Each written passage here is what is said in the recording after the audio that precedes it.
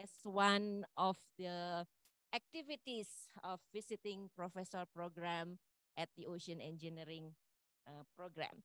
Uh, so my name is Entin Karjadi. I'm from the Ocean Engineering ITB and I'll be moderating this seminar.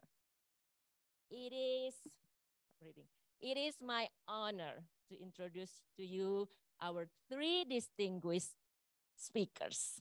Well, the first one is our distinguished guest, Professor Nobuhisa Kobayashi from University of Delaware, USA. Welcome to Indonesia, Prof. Nobu. Welcome to ITB. Nobu, are you with me? Okay, welcome to Indonesia. Welcome to ITB. And the um, our second speaker is, we all know him, Dr. Andojo Wurjanto, also from the Ocean Engineering ITB. And our third speaker is Dr. Muslim Muin, also from the Ocean Engineering uh, program. So we apologize that Professor Ricky Tawekal cannot join us today. Um, so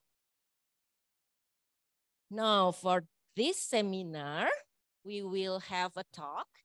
And after the speakers finished with the talk, then we will have a question and answer session. I think everybody follow that, right? No, Nobu, before we start, oh, Professor Nobu, I would like to read a short bio of Professor Nobu Kobayashi. You can find his full CV for that uh, over there, the HTTPS Coastal UDel Edu People Faculty. So it you will find that it's more than 40 pages. So it's pretty hard to kind uh, make this uh, very short CV. So Professor Nobu uh, received his bachelor and master's degree from in civil engineering from Kyoto University, Japan. I think I would like to say hi to people or the participants in the online. So hi, forgot, sorry. So continuing. Um, and then uh, he continued to receive his PhD in 1979 in hydrodynamics and coastal engineering from the Massachusetts Institute of Technology, MIT. So that's uh, his PhD. After he received his PhD, he became a senior consulting engineer. And since, ever since you are be, uh, being a consulting engineer until now, correct, Nobu? So you're still doing consulting engineering. Okay, until now. So it's been like how many years? Since 79. Anybody can count fast. Maybe most of you haven't been born yet. So um, Professor Nobu received many, many honors, and among them are the 20, uh, in 2014, he received the American Society of Civil Engineer Outstanding Reviewer for the Journal of Waterway, Port and Coastal Engineering, Coastal and Ocean Engineering. And in 2013, since he's also a professor, he got an honorary certificate for dedication to teaching and research in the field of coastal and port engineering. Okay. And he, uh, he is the founding member of the Coast, Ocean, Port, and River Institute ASCE since 2000, honorary member of the Coastal Education and Research Foundation since 2001, and of course, the member of American Society of Civil Engineer. He is also uh, uh, an editor of several journal, among others is uh, he's one of four editors-in-chief Journal of Coastal and Offshore Science and Engineering since September 2021 and an associate editor of Journal of Coastal Research since 2000. So he's also an editor of books one of the book is Coastal Structure in 2013. And he also written chapters in books. Uh, one of them is Handbook of Coastal and Ocean Engineering in 2009 and 2018. So he has published, this is very impressive, 150 refereed journal papers and more than 250 conference papers. So with his CV, long CV, I'm sure he could answer all of our question about the coastal engineering. And I also now I'm happy to announce that he has become our adjunct professor. So he's an adjunct professor at our ocean engineering program. So that's pretty much it. And without further ado, Nobu, uh, you could um, give the presentation and the floor is yours. Thank you.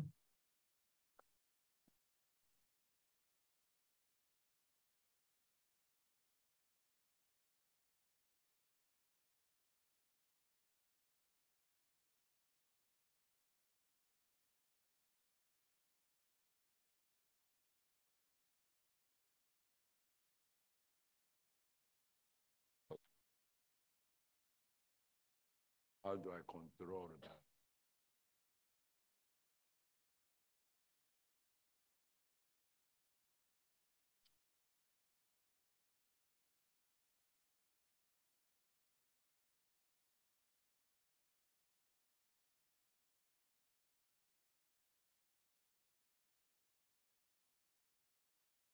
Okay, I have uh, three topics and uh, I'm supposed to talk 45 minutes? Okay. I thought you may like to see the what what is coastal engineering. And uh, 2018, we Delaware organized the International Coastal Engineering Conference 2018. So since we are organizer, I we know the details, so I chose 2018. And this is the 36th conference every two years. So you can see that uh, coastal engineering is more or less started in 1950. And uh, within civil engineering, it's relatively new. And this is similar to the ocean engineering also started after the World War II, when the oil and gas exploration was uh, going on in the Gulf of Mexico in the 1960s in North Sea. So it's a relatively new field within engineering.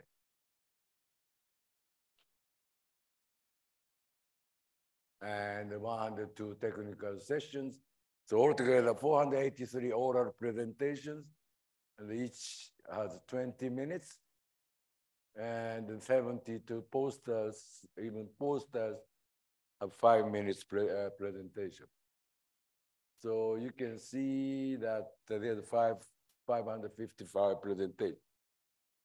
So this conference, if you attend this conference, you can get overall picture of coastal engineering. So it's easier for you to decide what is new, what is old. So typically you have to attend this kind of conference if you, if you want to do uh, new research. Oh, it doesn't change. So number of people registered, 763. And uh, people attended this conference. And usually number of people who attend is, is uh, largest from the country of organization. So this time, United States had 356, Japan had 100, 100 people, and the Netherlands. So those top three is usually most presented. Okay, Netherlands is a small, less than Japan, but if you think about population of Delaware, uh, Netherlands is about more like uh, 15% of Japan or 20%, then you can see per capita, Netherlands has more coastal engineers.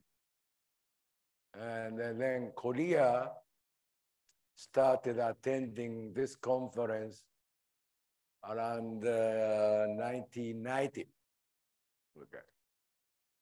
And uh, hopefully Indonesia become like Korea, that uh, you can see after Korea, China, then almost all of them are Europeans and Australians. Okay.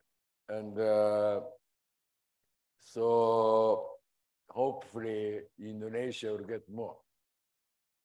This is a sequence of a conference. I 1998. They started the first ones now around 1950. I, I'm showing you just the more recent ones. So 1988, Malaga, Spain. This one was when Spain was progressing economically rapidly, and then they realized beach is important for tourism. And then they put, put uh, more emphasis on coastal engineering. And I really think Indonesia has a big potential for tourism. I think uh, Thailand got 40 million tourists uh, per year before pandemic. I think uh, Indonesia should be able to get more than 40 million. And uh, then Netherlands. So you can see Europe or Japan. And then finally, uh, 2010, we had China. So finally, 2010 China, and 2014 Seoul, and 2016 Turkey. And uh, 2016 Turkey, originally Istanbul, but uh, they had a failed military coup, so they had to postpone. And then 2018 is US, 2020 was canceled by pandemic, and 2022 is Sydney. So I think uh, I should say future of coastal engineering is uh, probably in Asia because Asia economy and everything growing faster than other part of the world. So hopefully Indonesia will step in.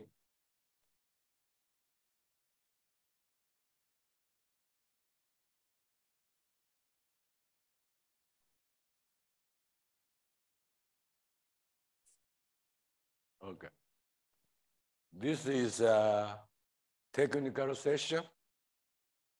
And you can see that uh, within the coastal engineering, you, we divided related to waves and storm surge and tsunami. So you can see top two is related to mostly we are concerned about storm and the damage, also including tsunami. But then sand moves, sediment moves, and the structure can be damaged. That's why you have sediment structure and the coastal zone management, all this uh, additional part. I'm not going through all that, go through, but uh, this kind of uh, table is useful for you. So you say, I want to work on this kind of topic, then this give you what kind of topics included. Then this proceeding is ac accept. You can access this proceeding free online. Okay, so you say, so when you're doing master thesis, then I want to do this, then you go to this uh, conference, and then if it's 2018, it's listed like this. This one this is the I listed like this, okay. If you go to actual proceeding, all the waves are is together. So it's not easy to find what you're looking for out of 500 papers. Okay, so this tend to give you some idea what's included. And this is what's included for storm surge and tsunami. And so you can see there are lots of lots of topic within each categories. And sediment is usually we worry about big erosion during a storm, but also long-term gradual erosion. So that's why, and then in order to predict the erosion or accretion, we have to know what causes sediment movement. So we have to understand the mechanism and uh, some, some locations, you have to what mud transport is also important. I think in Indonesia, if you build a port, you typically uh, worry about uh, sedimentation of mud in a navigation channel.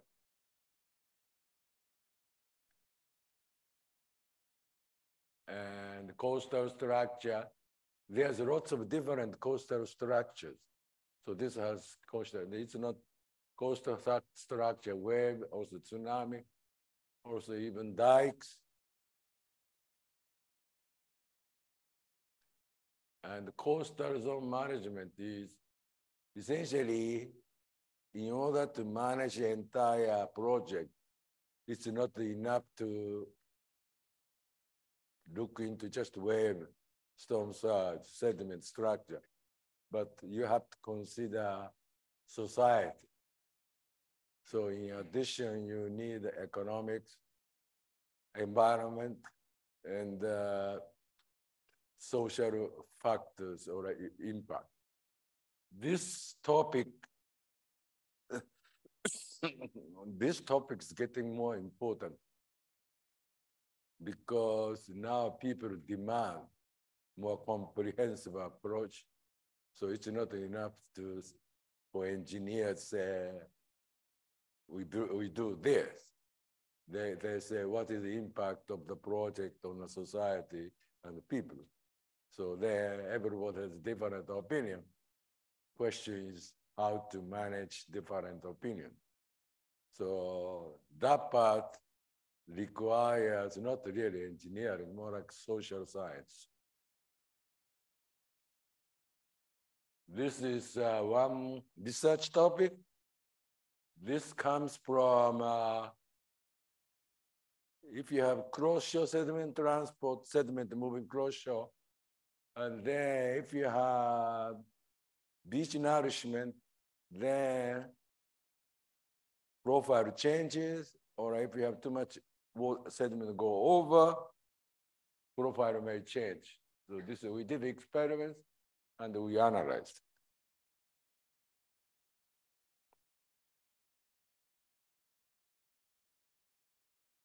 Okay, so what happens is the uh, simplest model is so-called equilibrium profile, equilibrium profile. So if you average beach profile over the long term, you get certain beach profile. And this is convenient, but uh, it, it uh, misses lots of part. And if you start putting sand, then beach profile may become steeper to transport sand offshore. Overwash means you have a low beach, then sand goes over. Then maybe uh, the beach slope may become uh, gentler. So the motivation of this study is in America or in Delaware. Some people complain that the beach nourishment make beach steeper, and some people get injured. Then uh, state of Delaware is responsible if somebody injured. So this one, we looked into beach, if you do the beach nourishment, how much profile change. So nowadays, uh, since we are doing engineering, not science, topic comes from what actually happens in a, in a actual, from actual project or actual situation. Then to make it research, we, we make it more general. So that's why we also added negative uh, increased slope or a decreased slope. So we do the laboratory experiment. This is experimental setup. So we generate wave here.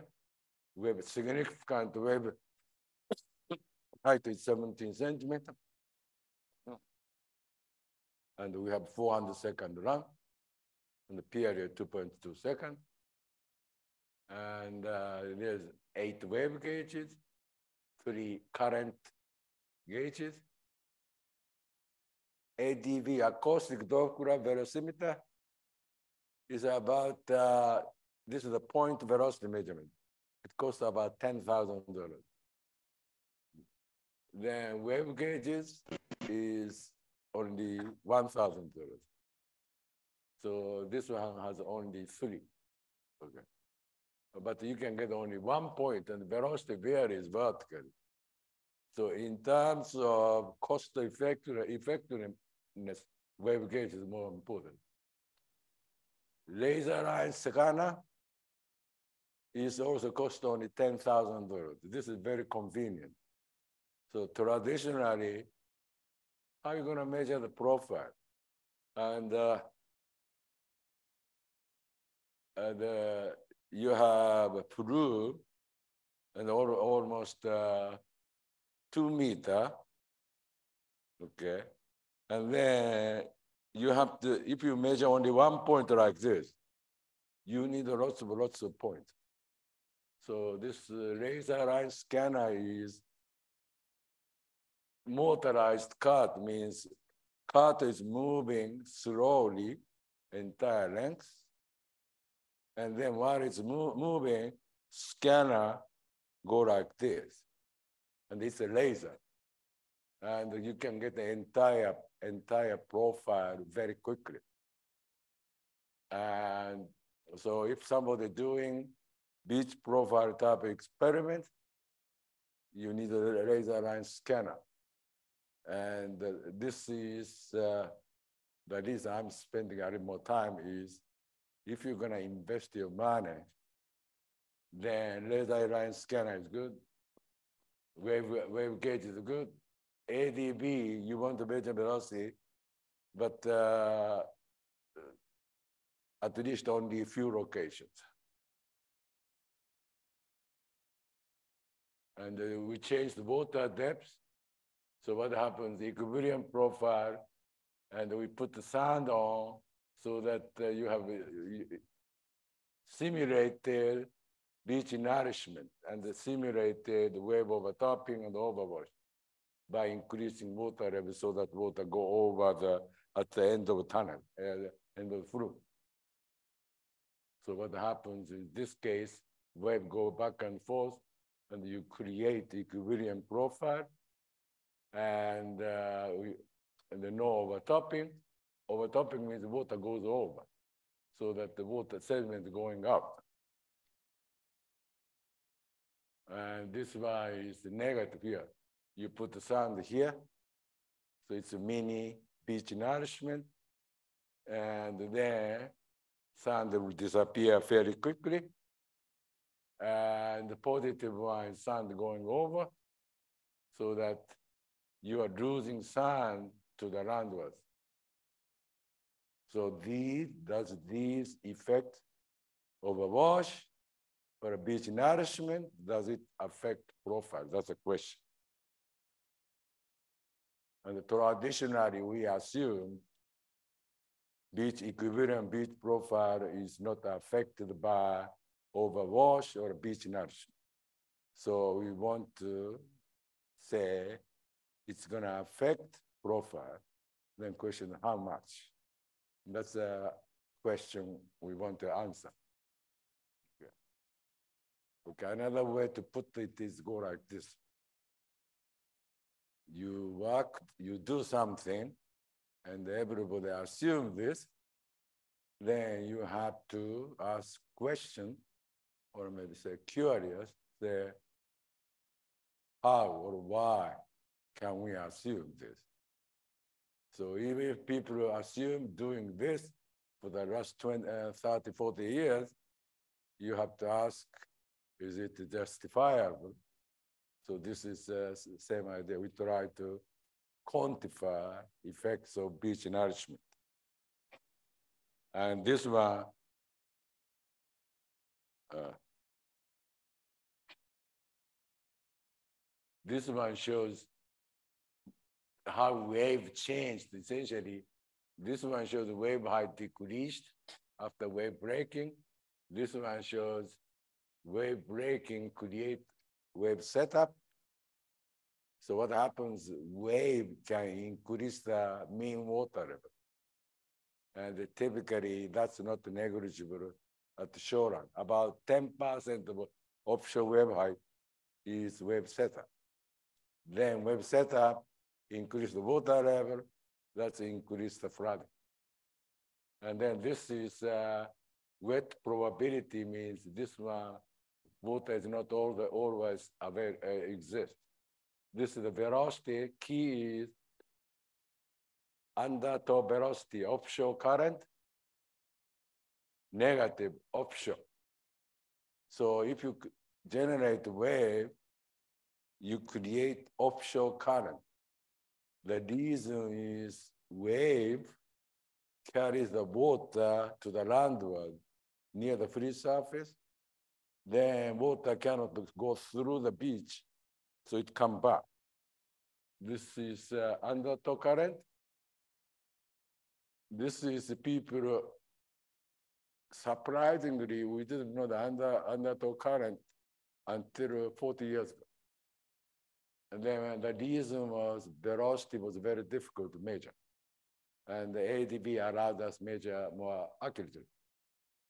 And this is eight centimeter per second. This is a wave-induced oscillator velocity is 20. So relative to wave velocity, wave oscillatory velocity, this is still smaller, but not negligible.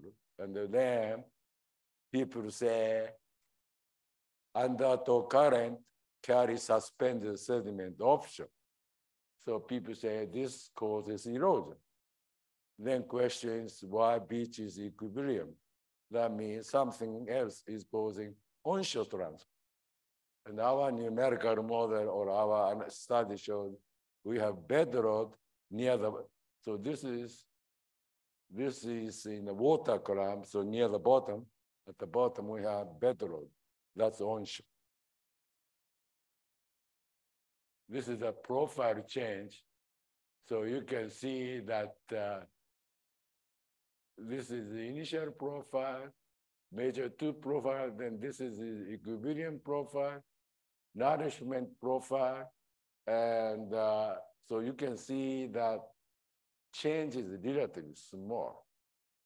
And then question, can we predict this is if you have both sediment goes over, shoreline moves to the landward. If we put the sand here, shoreline moves seaward. Then can we predict this? So then this is a small scale test, not a laboratory scale. What does it mean for field scale, actual beach? That's a question we have to answer. And this is the amount of sediment, this is the amount of sediment went over, this is the amount of water went over. And then traditional analysis is assume the entire profile moves without changing, translate, and then you get this kind of equation.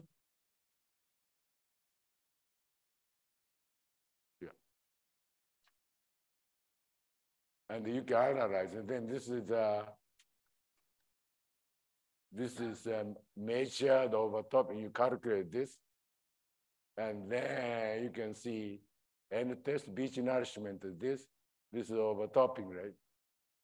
Then it's uh, initially it's the same, but after profile change, we couldn't maintain the overtopping rate.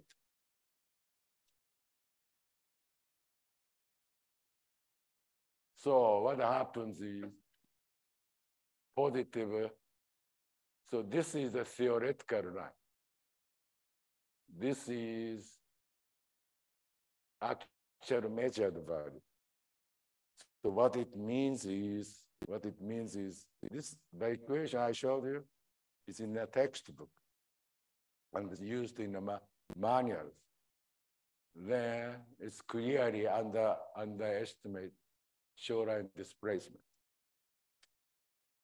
Okay, point here is lots of things in a textbook, manuals, it's not completely wrong, but you can see how unreliable they are. And if it's manual, they never say, they typically say, do this, do this, do this. They don't tell you too much about accuracy of formula you're using. And so you really have to be very careful, especially with the coastal engineering. Structural engineering, more reliable. The reason is structure is man-made. You have control over uh, your structure. Sediment, beach, it's a natural phenomenon, so you don't have too much control over nature. So even do the experiment twice, sometimes you don't get exactly the same result. So we, said, can we come up, uh, explain shoreline changes? Uh, and we did a simple analytical solution. And then we have a formula and simplified, and then uh, we came up the equation to show that we can calculate shoreline displacement analytically. And then this is the equilibrium profile. So if you look at this, it tends to fit reasonably well. But if you start checking how much shoreline shifted, it's shifted. This is once you do the beach nourishment, shoreline shifted about 10 centimeters. So it's, it's not that, that big uh, shift. And then this is uh, major analyzed results, analytical results, not numerical. And we did the same thing for the when water goes over, then it's also about one, 10 centimeters. And then comparison shows not as good. And then we want to know, can we use this to estimate what's going to happen in the field situations? And then this is a closure depth. But if you look at this, uh, this is a typical uh, beach nourishment volume per year. Then even if you have very large nourishment, shoreline shift seaward less than one meter. So equilibrium beach profile is fairly good, except it may, it may shift seaward. And on the other hand, the landward movement is similar, about one cent. Uh, yeah, a, so this one is sensitivity, but still also shift is one meter. And we compare to the numerical model. So this is a hydrodynamic comparison. Typically, our computer program simulate this within error of about 20% and the profile change is uh, it's reasonable, but not uh, completely accurate. Uh, so we have some numerical problem here. So what happens is, conclusion is uh, assumption of equilibrium profile is reasonable and they still shoreline may shift one meter seaward or around. And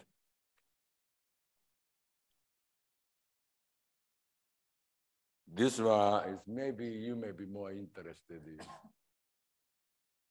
This is revetment and sill to reduce shore erosion overtopping.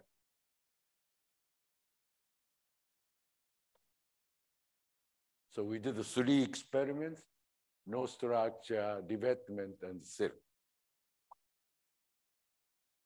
So this is a revetment. Okay. Revetment, this is built in all open ocean. So to protect shoreline, you put the stone like this to reduce erosion. The only problem of this is sometimes if the reason you are putting this structure is shoreline is eroding. So even if built this to protect the shoreline, erosion continues in front of structure. Okay. Another way to put it is stones protect sun only below the sun. Here, no protection. This is sill. You put rubble mound, and then this one is called a living shoreline. Instead of this, and then this is ecologically no good. So people suggested we put sill onto the planting vegetation, and then this has more ecological benefits. Okay, so this is a trend that uh, try to use nature as much as possible. On the other hand, if you do not build this, this may be destroyed by wave. That's the reason you're building this. So uh, Indonesia has a long coastline, so you have to figure out what's the best way to do coastal engineering work for different kind of beach for entire Indonesia. So I really think somebody in Indonesia has to map entire Indonesian coast using satellite data. We tend to, we nowadays we use Google Earth Pro. Then you can get the entire coast and you can get, uh, you can get the photos uh, sometime if it's a popular destination, you can find the satellite photo or not, airplane photo every, every year. And then you figure out what can you do, and then there, there's the different option. Traditionally, we just build a structure. Now, sometimes you try to use vegetation as much as possible. Only problem vegetation is even if you plant, it may die. So you need somebody who knows vegetation. And then you have to know what kind of vegetation grow for this kind of beach or different location has different vegetation. This is the same tank we did the experiments. And this one is sand only, no structure. So berm in no protection. This is berm. and uh, we use stone to protect this berm. And this is a sill. This is before we put vegetation. So question is, without vegetation, if you put a stone here and the deduced wave, this erosion uh, berm is protected against waves.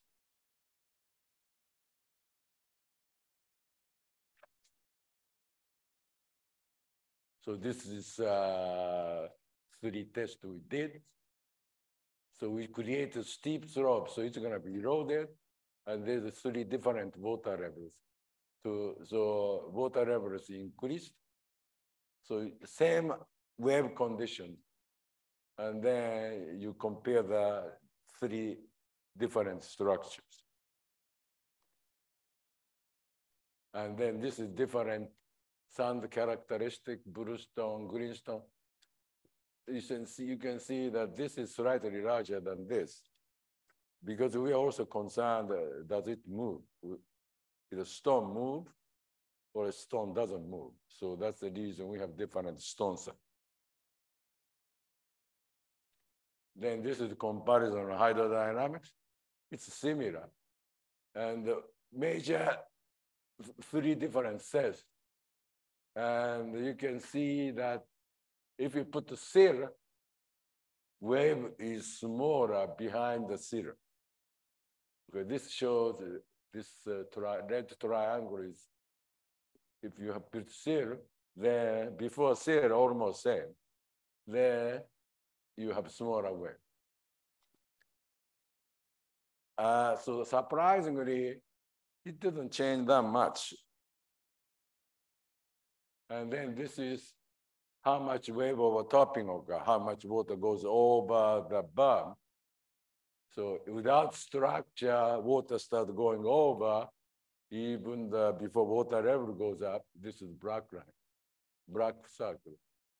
And if you have sill, no overtopping, then overtopping occurs. Then revetment is no overtopping, then overtopping. So in terms of reducing wave overtopping, revetment is best. And this is how much sand go over, it's the same thing. Revetment is best. And then this is a major profile change for no structure case. So this particular case, we made it steep so the sand sediment moved here and then eroded uh, when we put the water level higher. This shows sediment can also move onshore.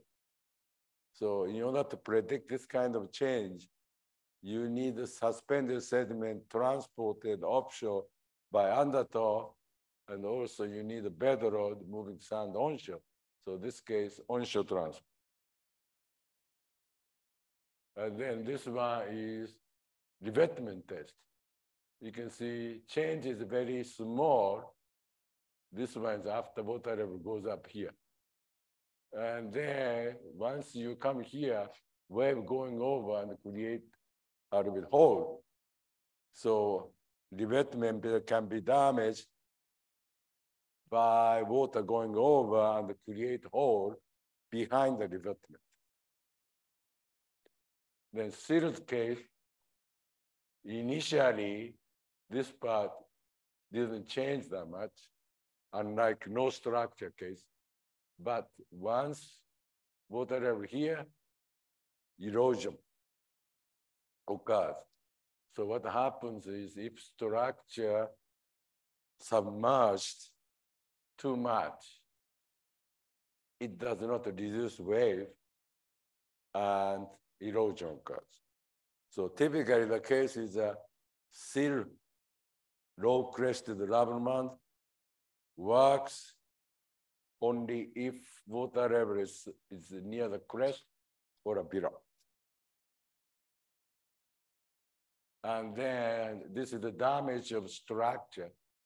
And we compare the uh, green and blue stone and also sill. So you can see this is a sill. So sill is damaged. And then this one is, this number is roughly number of stones moved. And then two means two stones moved. This is uh, revetment once water level goes up, it starts getting more damage. Okay. So point here is that you have to worry about not only beach erosion, you have to worry about damage to your structure. And then this shows that uh, we had a filter below the stone. Okay. And then filter settled and the stone surface settled. This is the revetment. So even if you have filter and stone, sediment, sand moves below the filter. That's the reason stone also settled. Uh, this is not included existing design. Existing design cannot predict the stone settlement, partly because we cannot predict how much stone settle, filter settle. On the other hand, uh, the Sills case, low crested rubble mound, filter didn't change. That means sand underneath didn't move, unlike here. But stone is damaged, so wave go over, then some stone goes here. Then wave coming back, some stone go here. So this one is stone damaged and profile change. This one is mostly stone didn't move, but uh, filter settled. Uh, we try to use a numerical model to predict this, but we cannot, we cannot predict how much filter settles. And then we also checked how much sand deposited inside the structure. So you can have deposition of sand about uh, less than one, one centimeter. And the point oh, here is existing method do not predict how much sand trapped inside the structure. Okay, point here is uh, lots of things we do is if we cannot do it, usually we don't include it. So that's that's also goes back to the point I was making that surprisingly lots of things ignored in the present design or nothing written in the manual.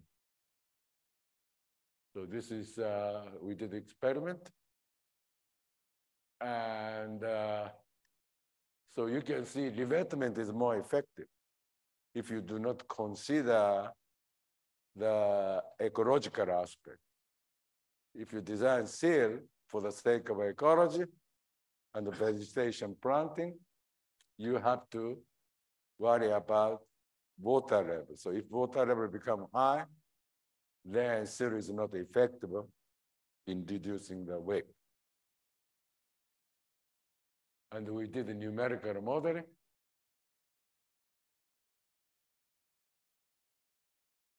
this is explained in numerical model, but uh, the Andy worked on numerical modeling for time time dependent model. This is simpler model, and the, the reason is uh, we had more complicated model or a computational intense model. Nobody used it for actual application. So we came up time averaged model so that we don't have to predict what happens within each wave. So this one's uh, what happens every every monograph for actual application one now. So this is the damage prediction. And you can see that uh, predicted this one has, this is major, this is computed. So this is reasonable, but here error is 100%, 100%. So you can see that uh, it's not easy to predict the damage to structure. Hydrodynamics similar can predict within error of uh, 20%. Wave overtopping is very difficult to predict. This is major predict. This is 10 to the minus 1, 10 to the minus 2. So we can predict only order of magnitude of wave or And then this is measured computed profile. It does a reasonably good job, but the detail is very difficult to predict. This is different profile. So you can see this is the state of art. And here, this one is filter location, and this one is the initial filter. And uh, final stone bottom. So you can see that uh, it's not easy to predict. Okay, so this is the conclusion of numerical model. Okay. 45 minutes, yeah? Yeah, about 45 minutes. Thank you so much, Professor. Thank you so much. And now we are open for questions. Start with two questions from the audience. I'll see this is one of the historic buildings. Yeah, yeah, yeah, yeah. Question? Yes, one question for Pak Ahmad. You met him last night yeah, yeah. in the dinner. Thank you, uh, Professor Kobayashi. Um, it's very interesting topic. Uh, the first question is um, how you, so I assume you're using Froude number similarities and it's in your experiments. So uh, how you uh, scale down your, your grain size first? Um, I don't know, in, in, in my mind, it's like the grain size is, is, is very important in terms of the changes of the uh, shape of the pro profiles. That's the first question. The second question, how important the cross-shore compared to the long-shore? So in, in, in, in our case, we have some, some projects using the beach nourishments. Um, in, in, in the equilibrium, usually um, longshore car, longshore process and then longshore transport is, is far more important. So compared to the longshore process, this is in what percentage the, the, the, uh, uh, the occurrences of the changes of from the cross-shore? Thank first, you very much. First is uh, grain size. What happened is go like this. This we in an experiment we use the fine sand. Then if you scale up fine sand to the field, it may become coarse sand. So the, our strategy is we don't assume any scale. We use small scale experiment, and then we calibrate the numerical model, just coefficient dimensionless. And then we use same model to field conditions. And we have shown same model works for field case and laboratory. As long as model has basic sediment dynamics, model should work for small scale, large scale, and field scale. Okay, so the, what happens is if you read sediment transport textbook, then they said, okay, all days, people may uh, try to use sediment with a different density or whatever to simulate field conditions. So we are saying none of them really worked and they're not convenient. So our strategy come up, set a model, just like hydrodynamics. If you have a good, uh, accurate enough hydrodynamic model, it should work small scale, large scale, field scale. Same idea for sediment. We managed to achieve this model for the last 10 years. And uh, as far as a long shore and cross shore, if you do uh, large area, traditional view is uh, long shore sediment transport uh, determines shoreline change. And we've been trying to show that cross shore sediment transport is uh, someplace equally important. So what you said is also that's what's written in the textbook. And the shoreline change model does not include cross-shore sediment transport. And uh, yesterday's seminar, we showed certain cases cross-shore sediment transport is more important. So what I, am trying to say is uh, if you go to the field and you measure shoreline, and then you use one line model, and then if it doesn't fit, you change the coefficient and try to get the agreement. And then typically it doesn't work all the time.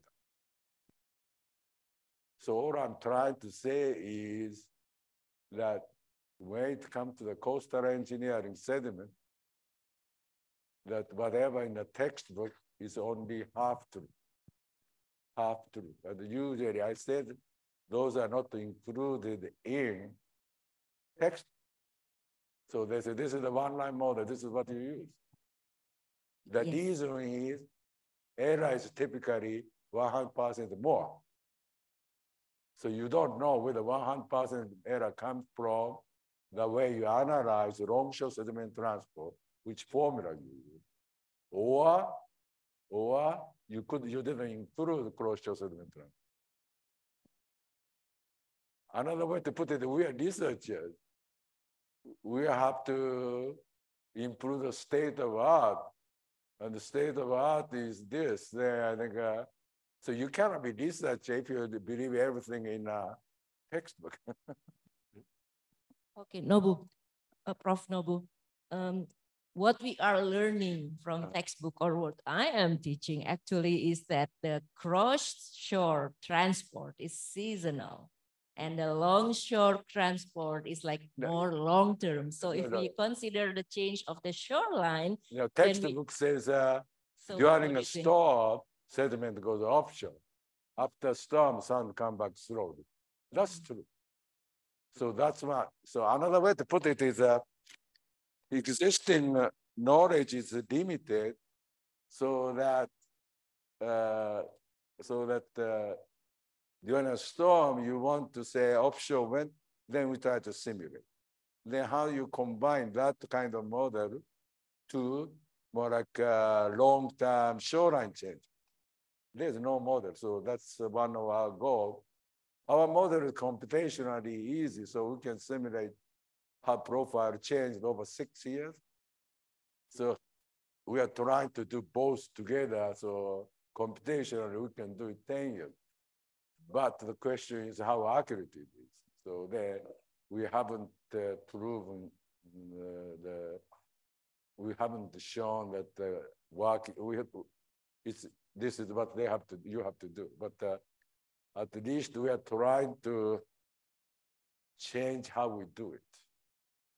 So if I succeed, or maybe actually somebody in Indonesia, you may want to do it, but the only problem of the Indonesia is you don't have a good web data. You don't have web, eh, good web, web, web data. If you, if you need a web data 10 years, so if you're doing simulation in uh, Indonesia, you have you assume certain waves, and then do the uh, long shore sediment transport using CERC formula or another formula.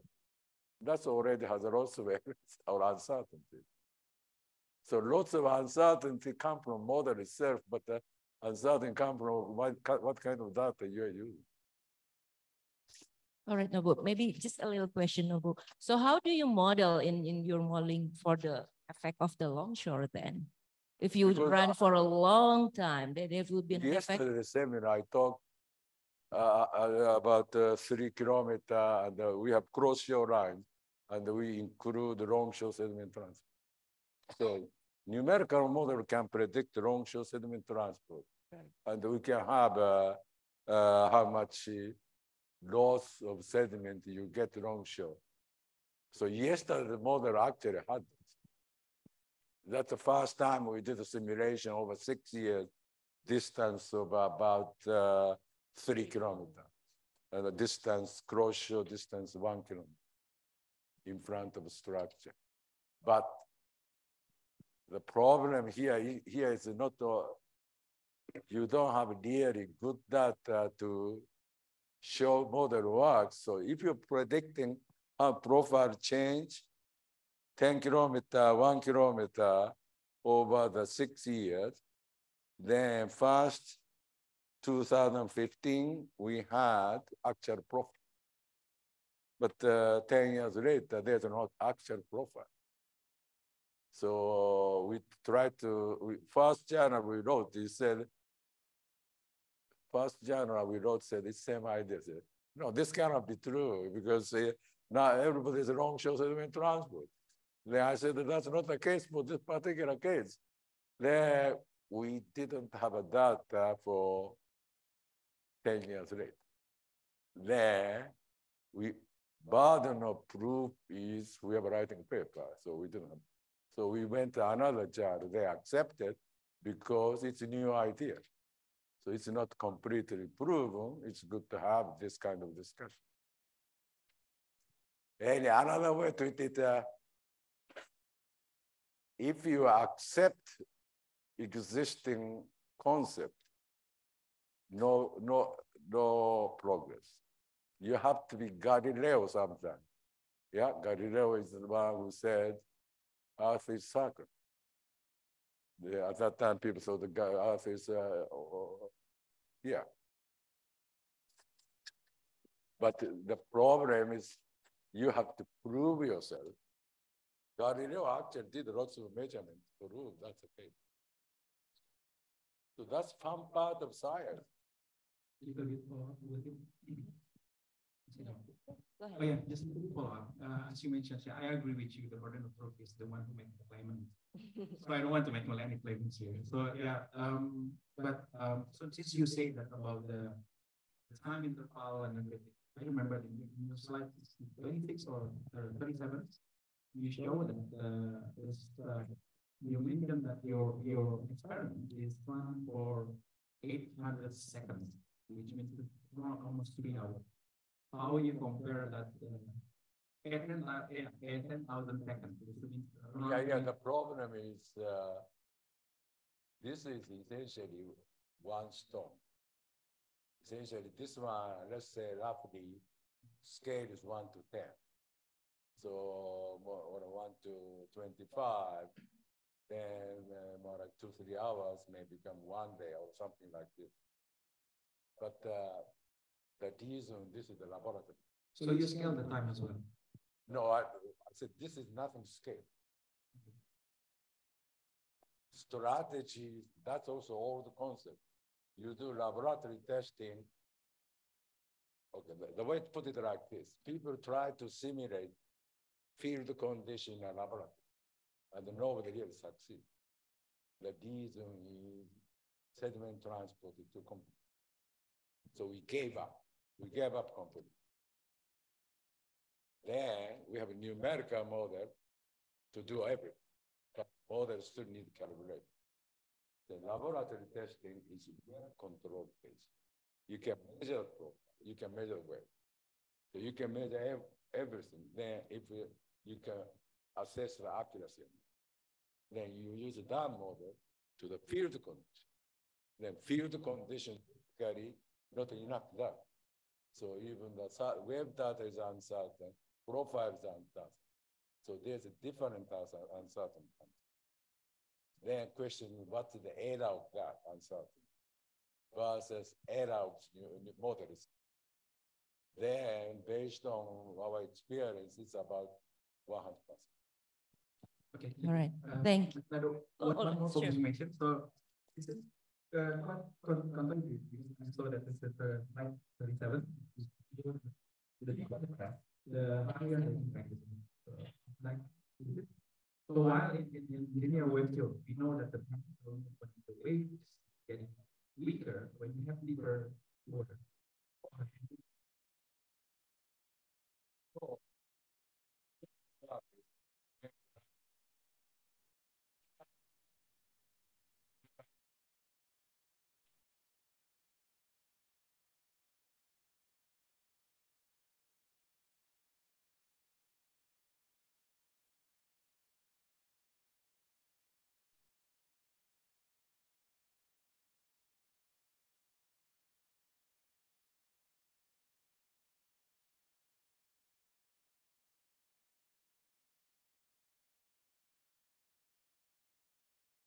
Use average. So, um, so this is what, what I said is counterintuitive because uh, in terms of dissipation, for example, so you load, you, the low, the, the deeper your, your, your water, your, your, your, is, is should be spread along the, along the water columns. Is, uh, it. Uh, This is inside the shaft. This is inside the shaft. So what happens is, uh, if you do regular wave testing, undertow current is maximum near the bottom. Undertow current is different from linear wave theory. So it's near to the, seabed. Yeah, near the seabed. So But- the- but- That's a regular wave test. And then undertow's vertical profiles are highly uncertain. So we simply assume the undertow is, uh, we use averaged undertow current velocity and amount of suspended sediment to go offshore. That's the way uh, the, we predict the suspended sediment. Yeah, what, what I'm saying is, you, you kind of neglect, neglect the, the frictions. Huh? You kind of neglect the frictions with the seabed. That's the problem. Friction is included. Friction is included, but still, you still find the, the deeper the crust, the higher. No, no, no, that, that's, that's, uh, you have too much concept from linear wave from deep water, intermediate shallow. No, that's not the, I, I understand your, your non-linearity, but. No, no. this is the problem. That one showed data is coming from inside the surface. Okay, maybe, Okay, let- let me- All right, thank you all right. uh, thank you, Pak Ahmad. So maybe we can have um, more discussion after, after this talk. Uh, Thank you and Let's go like this. If you have a wave propagating like this, no bound here, then, then second order steady current is largest in the other side. Then, if you have boundary here, water cannot go through, so it come back. So that is undertow. So there is a undertow current is dependent of band, lateral boundary condition. Right. So you cannot generalize, uh, if you use uh, linear wave theory on horizon, you know, uh, infinite horizontal extent, it's different. All right, thank you. Um, Ahmad, thank you, Prof. Nobu. Maybe we should give a chance for the participant online if they have question, one question. Quick question, probably, if there are any. You can show it.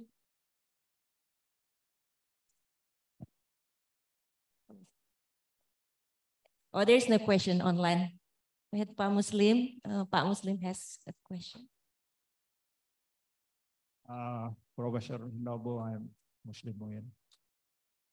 The, the tool that you develop, does it work for cohesive sediment or only for non-cohesive sediment? Oh, Then do you think cohesive sediment, if, uh, it will be future topic? Because it seems to me it's very challenging. area. Thank you. okay. Actually, he was Th- talking th- about it yesterday about This is, his- a- Yeah, yeah, in, in his, No, no, that's all this- right, that's all right. this is a cohesionless, Oh, Hinton. cohesion, no cohesion. So this is sun, not clay. Sam. So uh, the, the yeah, sand or gravel, not, uh, not, uh, sand and gravel and stone. We have different model or uh, we have a sediment transport model for clay.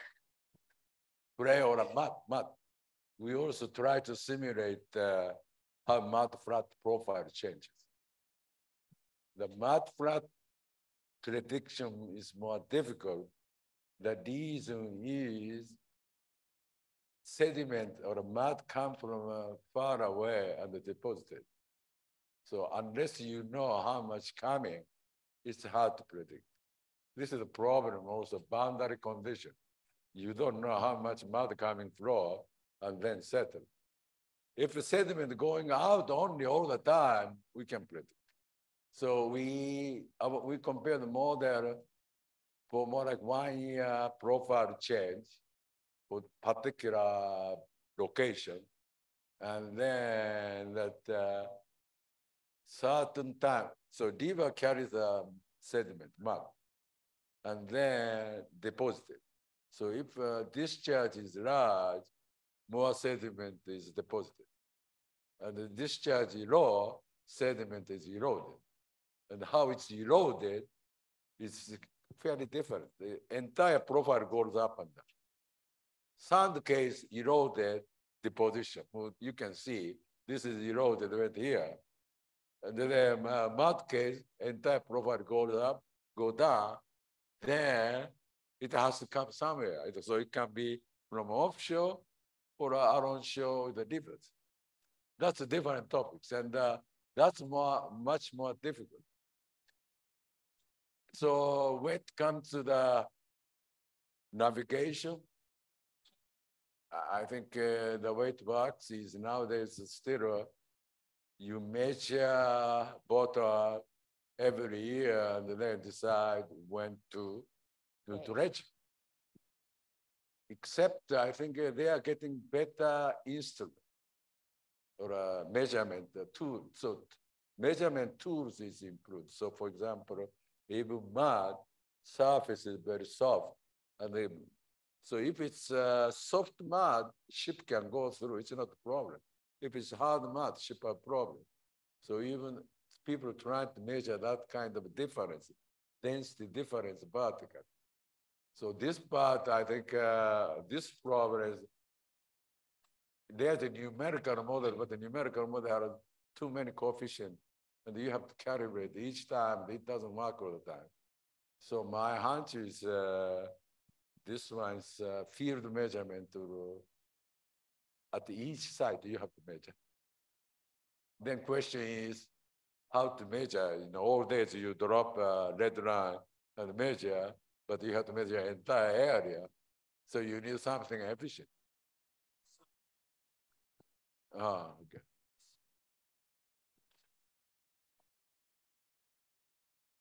uh, armoring process should, must be a big problem. We, we don't understand very well about that. And also um, settling velocity, flocculation process. Uh, yeah, that, so it's, it's you different. It's to, you wanted to solve this. So Empirical for what happened is for mud transport, there's an empirical formula for mud settling. That has two empirical parameters. And the mud uh, erosion, another two parameters. And the net change is erosion and settling. And the settling coefficient may not be constant in each area. It may change Yeah. each location. depend, depend on salinity. Yeah, yeah, yeah, yeah, yeah. The, the, there, scientists worked on this and made it more more difficult and difficult. And then we said, no, I think uh, there's too many coefficients. So we said, we, Doc, uh, Professor Ashish Mehta said 50 parameters. yeah, yeah, I have only, my master has only one parameter. No, the reason is if you have to calibrate the model at each site, you shouldn't have more than two, three parameters because then you can get any uh, lots of different answers by different uh, calibration parameters. So I think uh, sometime uh, sometime it's better to simplify rather than make it more complicated. All right. Thank you, Pak Muslim. Thank you, Prof. Nobu. So I think uh, I will conclude since there's no question from the online. So there are several things. Will use field scale. I think he already meant he already uh, explained that about the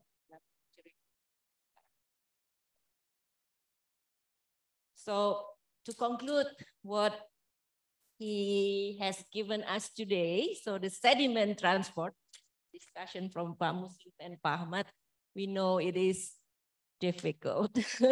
Just like I said in our class, the error could be 100%, right, Nobu? And then the other thing is a lot of theory in textbook and manual does not always agree with the data. So we have to be really, really careful when we talk about this sediment in coastal area, especially. And there is one point here, uh, two points actually. The one is if we want to do uh, research that is good and relevant, then we need to attend those conferences, Pak Andojo, Pak Muslim. And the second one is since we are an archipelagic, archipelagic country, that's uh, the talk of Pak Andojo next talk, then we have mm, long coastline. So Prof. Nobu suggests that we need to map our entire coastline using satellites. So we could analyze what method is best suitable for each of location. Maybe we should do that. There is a one uh, job there, Pak Andojo, Pak Muslim, Ahmad. We can do that. And I think that's pretty much it. So it's difficult, Nobu, right? Prof. Nobu? right. It's good. It's good. For the coastal engineering. That's very true. So it's a, still a lot of things to do. So if we are coastal engineer or ocean engineer, then there's still a lot of things we can do. Thank you so much, Prof. Nobu. One more time, round big applause for Prof. Nobu. Thank you. And our second speaker is Pak Dr. Andojo Wurjanto. He is Professor Nobu student, just like me. So we have known Prof. Nobu for how long, Pak Andojo? 30 some years, more, almost 40 years ago. So we were in Delaware, Pak Andojo and I, under the supervision of Prof. Nobu. We are doing a lot of work. I think, especially Pak Andojo, not me. Pak Andojo, I think, is one of the best student of Prof. Nobu. Is that correct? No? Correct? Yes. Yes. Okay. He is one of the best. So Pak Andojo will talk about the archipelagic side of our country, right? And then the title and and I'm going to read his short CV here. So as we, I tell you that he got his, or he received his bachelor degree from ITB, civil engineering, and then he received his master's and his PhD from the Civil Ocean Engineering University of Delaware. We are kind of more proud if say we graduated from the Center of Coastal Applied Research University of Delaware instead of civil engineering. And he is also held a title IPU, that's um, I think the main professional or the principal professional engineer and he is member of the Institution of Engineers of Indonesia, member of the Water Resources Engineering Indonesian Association of Hydraulic Engineers. And just like Nobu, Professor Nobu, Pak Andojo, when he came back to Indonesia after he received his PhD degree, and then he started doing consulting a job or consulting project as a coastal engineer. So he's a consulting coastal engineer ever since he came back to Indonesia. And now he is actively still doing consulting engineer. Okay. Uh, what else can I say? That's it? Okay, that's enough, Andojo.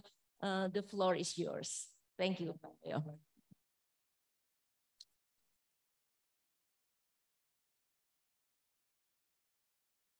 Thank you, Madam Entin, for your moderating. Nobu, welcome to Indonesia. And I apologize, I just met you today.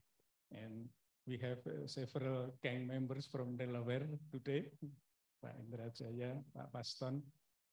Uh, yeah, Pak Indra Jaya from IBP and Pak Paston from PRIN. And Pak Muslim is our neighbor uh, Providence, Rhode Island. I always tell him that Rhode Island is smaller than Delaware, right? so, okay, yeah. Sorry, yeah. Uh, once I I went through Pa Pa Indra told me about Niagara Falls. Yeah, I went to Niagara Falls, and in when I reached Rhode Island, I call him, and but we could not meet at the time. Pak Muslim at the time. Yeah. Okay. So uh, I was Nobu's first PhD. So not the best, but for the first PhD for, for, from from him at the time. okay, and then first PhD, yes, and then uh, Puntin uh, followed my step to come to Delaware at the time, and, and then uh, continue working Pak Paston at the civil engineering department as well. Okay, so uh, this is an event that we uh, Ibu Entin organized to welcome you. So uh, I usually put the poster in my uh, material.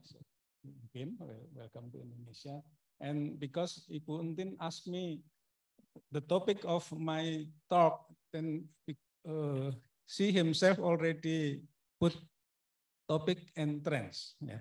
So I would I would try to merge into that, that title. And don't worry, I don't have uh, equations.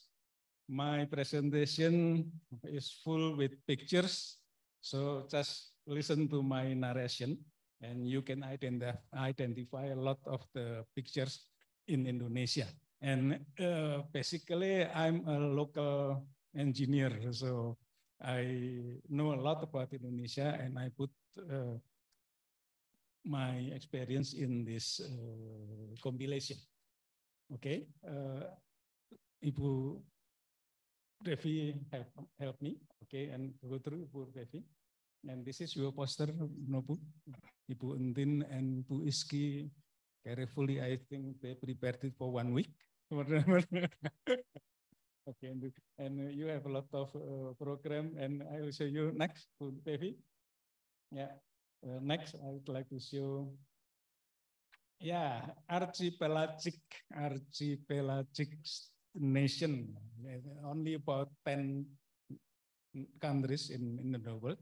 That means that we have more water than uh, land, so that uh, the whole boundary is considered as one entity, and that is archipelagic. And Indonesia is the largest archipelagic country in the world.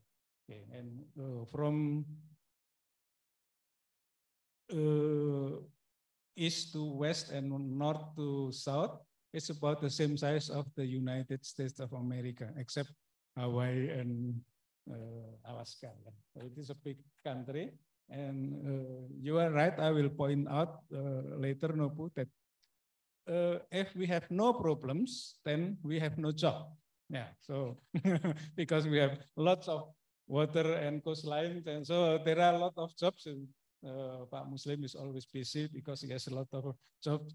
Okay, in this our neighbors, uh, Philippines is also archipelagic, but uh, the others are not because they have only land. For example, Korea, uh, Korea, Pak, Pak Muslim has Samsung that he always proud of.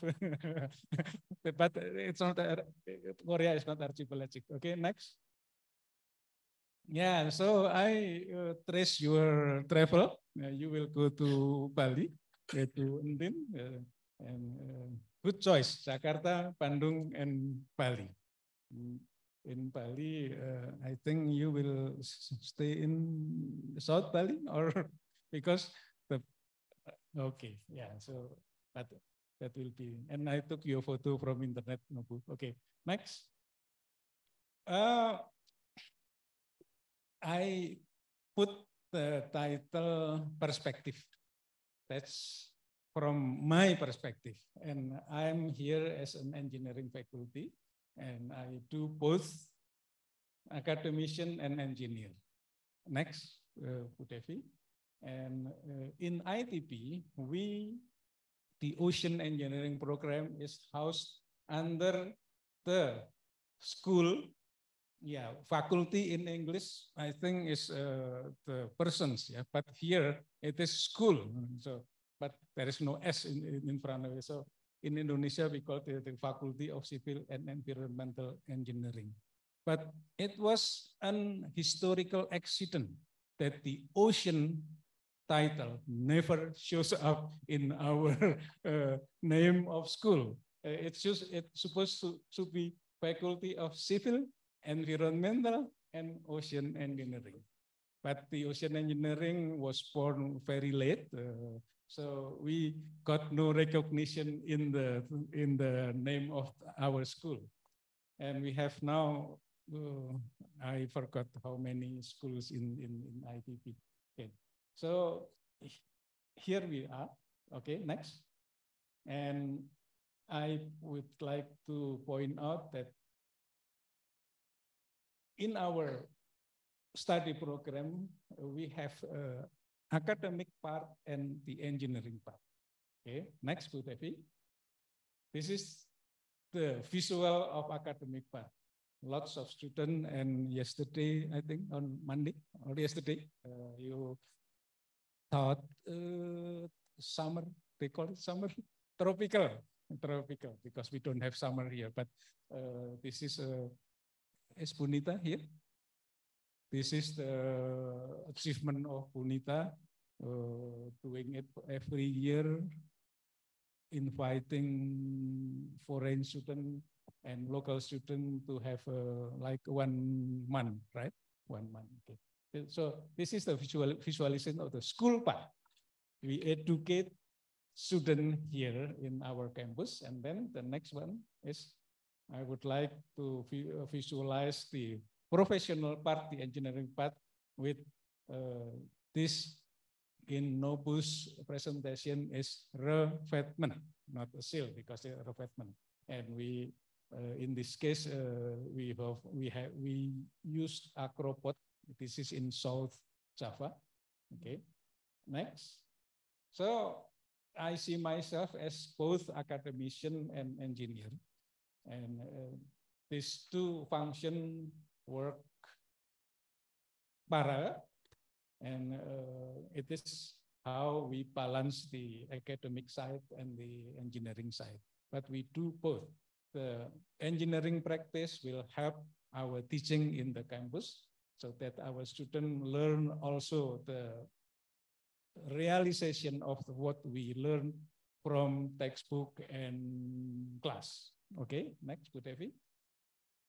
Now, this I mentioned earlier that and uh, Nobu said that uh, we, when we have problem, when we have water, when we have coastline, then we have work to do. Okay. When we proudly say that engineering solve problem. Again, I show this map again to show that Indonesia has a vast oceans and I would call it endless shoreline. That is very long and uh, there are opportunities and problems both exist at the same time. Next, Pepi. In our mm, law regarding water resources, we have three aspects of how to deal with nature. That is conservation, utilization, and control and mitigation. And uh, I do not talk about conservation uh, because uh, it's not in it's not in the form of structure. But for number two and number three, I can visualize visualize it in the next uh, page, Pak Budevi. Yeah, this is a structure, an infrastructure that is used to utilize the ocean in this case, for the media, for transportation.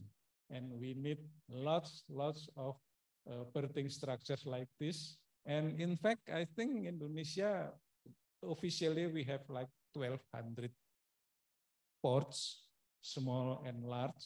Uh, the commercial port is about 200 something, and the rest is a small, uh, small berthing structure uh, scattered in the Indonesian islands. Okay, and then the second visualization. Uh, this is uh, estuary of River Bogowonto. It's right, it's right on the west side of the new Yogyakarta International Airport. Because the rivers in the South Java usually moves around. So usually the standard uh, practice of our Ministry of Public Works is to put a pair of groins and we call the pair as jetty.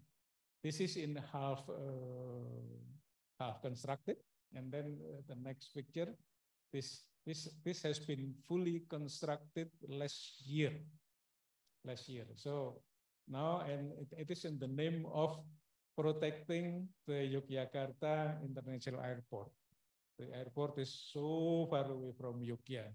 Uh, Pak Irsan told me it took how much hours, Pak Irsan? Two hours from the airport to the city of Yogyakarta. If it is, if you are not caught in traffic jam, if there are traffic jam, probably hours. And this is the structure. And this, we, I put this in the category of uh, the way we try to control some parts of the nature that uh, intersect with our lives. Okay, next mitigation, this is the, a picture of the Pak Muslim knows very well. This is uh, west uh, city of Padang in the west Sumatra uh, province. Uh, from the point of view of coastal engineering, this is a very well protected beach because we have both revetment and growing. And because the city of Padang is important, we will not have a Padang food if there is no city of Padang. So uh, it is very well protected. I call it uh, excessive because we have both fatment and groin. Uh, probably groin itself is not enough, but revetment should do the job, I think. But they have this uh, historically, so until Padang Pariaman, they will build structures like this along the coast. Okay, this is an example of mitigation that we do in dealing with the nature from the perspective of coastal engineering. Next, Devi. Okay, now I will focus on the one uh, topic that I promote whenever there are opportunities. That is regarding the land subsidence. Okay, first slide. Uh, many expatriate came to Indonesia and uh, probably not much, not many from the US NOBU.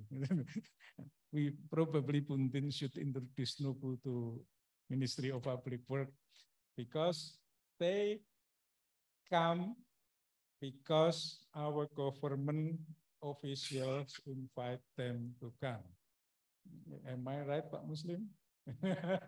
we always say that we can do it ourselves because coastal engineering, well, okay, the sediment transport in detail is very difficult. But how to deal with uh, problem in coastal is not that difficult, I would say like that. Because uh, academic point of view is different with engineering point of view. Uh, in engineering, we come, we see the problem, and we solve the problem. And it may be done without uh, all the details uh, we need to know and measure. Okay, that's the way I, I see it, more pragmatic uh, because half of me is engineer. The other half is a teacher. Okay. Uh, Deltares has lots of uh, studies, whether funded or not, because uh, Deltares is, uh, I think, it's private company that do a lot of work in coastal engineering area all over the world, including in Indonesia. So they identified that along the north coast of Java, uh, there are, uh, they call it risk index. And one that is very threatening to our North Java coast is land subsidence. I will show the pictures later on uh, in the next slides so that we can see the problem by visualization. Okay, I just use this uh, data to go through several places that is threatened by land subsidence. Okay, next. Jakarta is well situated. The city is big. Jakarta has lots of money. So Jakarta and the government Indonesia can build everything, including uh, including the giant seawall, Pak Muslim. we always we always in quarrel about about the giant seawall. And shown here is a seawall, big seawall in uh, part of uh, Jakarta, uh, right to the east of port of Tanjung Priok. Uh, the seawall is big, and this is the what we call it the coastal seawall, not the giant seawall. Uh, regarding the coastal seawall, I think Pak Muslim and I agree. We both do not agree on the offshore seawall. Okay, okay. This uh, visualization about Jakarta. So uh, I think the high-speed rail is much more expensive because it's it costs about uh, more than 100 what trillion in in in in English in English? Billion yeah billion billion rupiah. And uh, to build this kind of dikes probably several trillion will do yeah. Not not the not the coastal uh, not the offshore structure so Jakarta has the money to do it. Okay, next. Semarang, I put I put uh, that is the type one. Type one is the area that is affluent, so that you can build whatever protection that you need. Semarang is half. It must be protected, but the city itself is not that affluent compared to Jakarta. So they have borders and so on, but uh, probably once in two years or three years, the flood from the sea will come because the dike is not that good. It is not fully uh, enclosed, so they still have uh, problem with with with uh, high level, uh, high elevation of water because the land is sinking and the sinking is continuous. Semarang is type two, uh, is still a medium and large city, but it's not that rich as compared to Jakarta. Okay, next uh, Ministry of Public Work always say that this is the part uh, part that can protect the land against uh, high water and land subsidence. But actually, this is a very commercial project. Uh, they get money from the toll road and the area that is protected is very limited because uh, you have only that uh, the length at the same as the length of the uh, toll road, and then you cannot protect before and after that. So it is also a partial uh, protection, same as the protection that we have in the city of Semarang. I put that in type two. Type three is even poorer area. And I'm sorry for the student or probably my fellow to, that that uh, came from Pekalongan. Pekalongan is type 3. It has less money, and it shows in the form of the coastal protection that is built along the city. Not as good as in Jakarta, not as good as in Semarang. We have the, uh, coastal protection like this. And if uh, I would say that it will not last up to 10 years because the structure is not good enough as a, as a seawall. Okay, next. Jakarta itself is very long. Uh, it has about 32 kilometers of coastline and not all the coastline has been protected. Some is protected with a less uh, quality seawall like this. This is actually a sheet, uh, concrete sheet pile. Uh, only on top they make it uh, thicker and bigger. So we have the impression that this is a wall, but it is uh, just a, a sheet pile in below. So whenever the water rise up, uh, they have seepage go through holes between the concrete sheet piles. And uh, so I would like to put this uh, the same as Pekalongan because uh, the quality of the, of the seawall is not good. Okay, and then this is even worse because it is meant to be temporary. But temporary, you can call it six months. In less than two years, this is the picture from 2021. And then the next is two years later. Yeah. What happened? They put geopack exposed to the ultraviolet. That's why less than two years we have uh, things like this. And uh, if you go to Sunda Kelapa, it is still like this.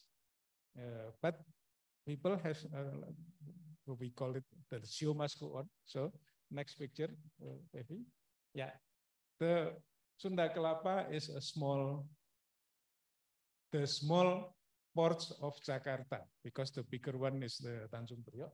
Sunda Kelapa is uh, small, smaller, and and uh, they have one section that is called Pelabuhan Rakyat, and it's we still have a wooden ship like this, and they still have a lot of of, of, of this ship, and they do it not with uh, people who do not know Sunda Kelapa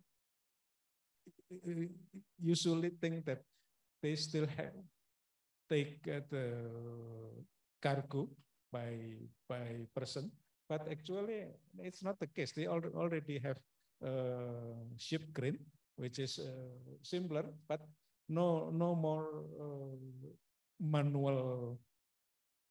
What you call it in in in in English? Kuli, Pak Indra. What labor? Porter, yeah, porter, yeah porter in airport uh, have uh, they have a lot of uh, of uh, what you call the like a shopping grocery like that. But here uh, we don't do it any longer. They already use uh, simpler crane and with protection like that, the life the, the life continues in Sunda Kelapa. And I would like to put it in type three because uh, as if that we we don't uh, we don't have enough money to fund the coastal protection that we need. Okay, next. Type four is actually do nothing. You cannot do anything because because the cost will be so high compared to the benefit that we can have. This team book Timbul Sloko is very, very well known because we have people still live in this area and they have uh, like what uh, boardwalk between the houses and then the live con the, the life goes on here and actually nothing can be done because uh, the nature is so overwhelming. And this I would like to, I usually, what are you going to say with green approach? You cannot protect coastal area from rising seas or land subsidence with vegetation. And I will have many pictures like this. This is for sure, I would like to say. You may protect coastal areas from the what? Uh, from abrasion, from coastal erosion, but not with uh, land subsidence. But they always have uh, events like that funded by government or by companies and so on. Uh, the next uh, picture is still about the same. And then if you come to this area one year later, probably the vegetation will vanish. Okay, next. This kind of pictures also well known. And if you type uh, Sayung, Demak, and so on, uh, they will show some successes in planting mangrove or coastal vegetation, this. But it does not solve the land subsidence. It only make your coast greener. How much, I don't know, but this is not a success uh, to solve the problem at hand. You cannot protect uh, village like Timbul Sloko by planting as many vegetation that you have. Okay, Evin, next. Now, uh, this is, I promote this uh, for the last probably five years. Coastal reservoir. Okay, next. Uh, there are more stories about this, but I would like only to show because I have uh, less than a half hour. The coastal reservoir approach in Indonesia, we have a story about that. Uh, but again, I will choose only that is reasonably can be done in the coast of near Jakarta not Jakarta uh, because of some reason. So this is area west of Jakarta. We have uh, Cisadane River with will which can feed fresh water in a large amount of water and then uh, it will be stored in the coastal area that we propose. Okay, next uh, initially we did not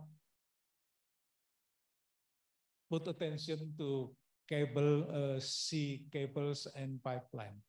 It turns out that the north coast of Java is full with offshore cable and pipeline. And if you want to build something on it, then you will have problem because first if you deal with a big company like Pertamina, Pertamina is our national oil company. Pertamina would say, no, you, I will not move and you have to move. And it has been proven with the case of Port of Cilamaya. Port of Cilamaya has been moved to Batimban. Uh, the big reason of it is that uh, there are pipelines of uh, Pertamina. So we realized that in this area, uh, offshore of Cisadane estuary, there are pipelines and uh, offshore cables. So we designed the coastal reservoir around that. Okay, next. Yeah. That's it. Yeah, not okay. So it's small one, and it it the coastal reservoir, reservoir will function two folds.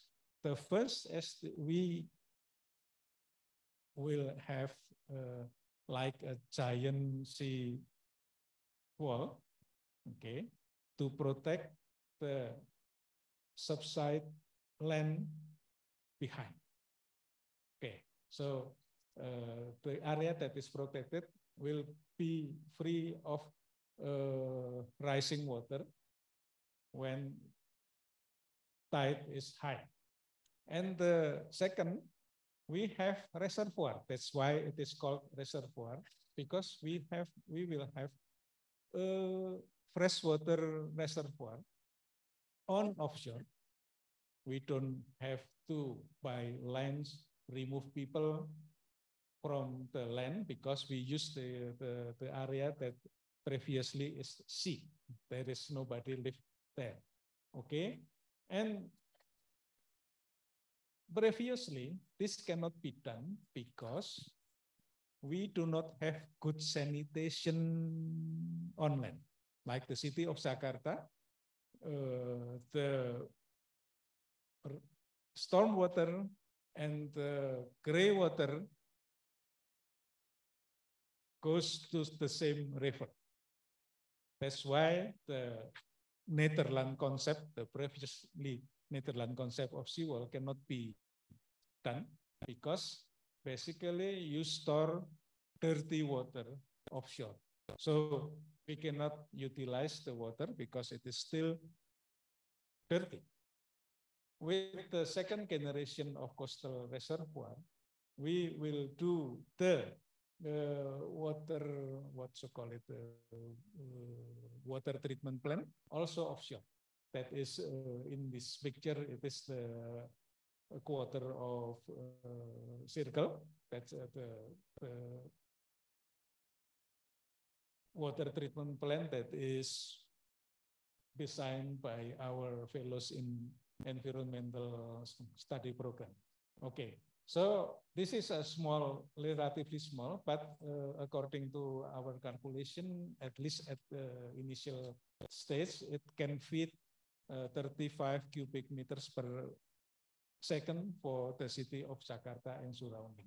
So this is our proposal, and uh, I don't have more detail about this. So the next pictures also al already uh, is also is only pictures, and Nobu, we took uh, what we call it.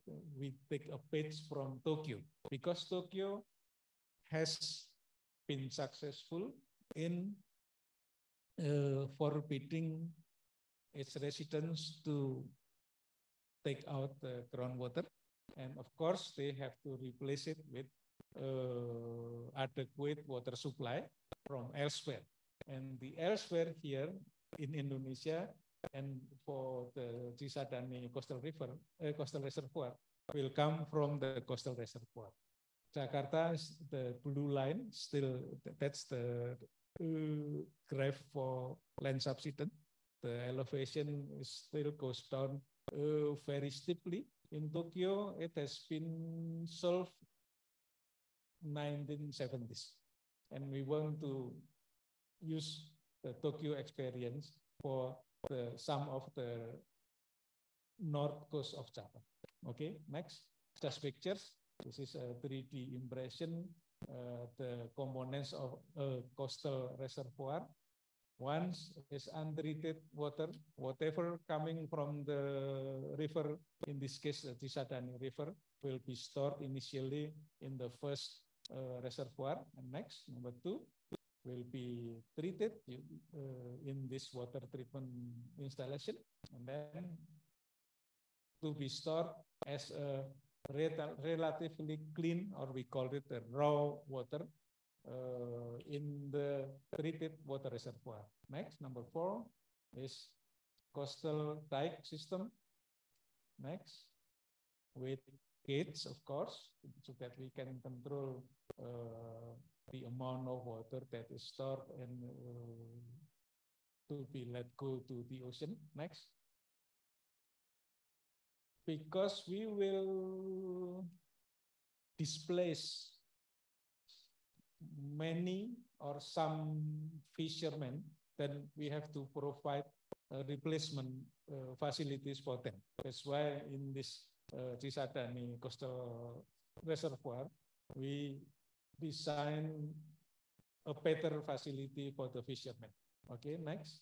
Number two, land development. This is to sell the newly reclaimed area to partially fund the cost of the coastal reservoir. Okay, I think, uh, and then we have a large uh, surface of water and we can use it for solar farm for what to call it, terbarukan, renewable energy. Okay.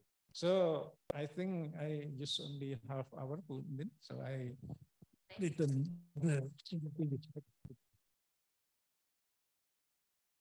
Thank you, Pak Andojo. So we learned something here. Uh, the first one is since our country is archipelagic country, so, so we have a lot of challenges that we need to face as a coastal engineers. And since we are coastal en uh, ocean engineers or engineering, we have to solve our problems. That's true, right? That's our job. And one of the most uh, challenge for us is the land sub subsidence in, in Jakarta, especially in the North Java. So Pak Andojo uh, proposed this um, coastal reservoir to solve two things. The first is, of course, to protect the land behind the, the reservoir because of the rising of the water. And the second one is the shortage of the fresh water. So this reservoir is expected to provide uh, the fresh water.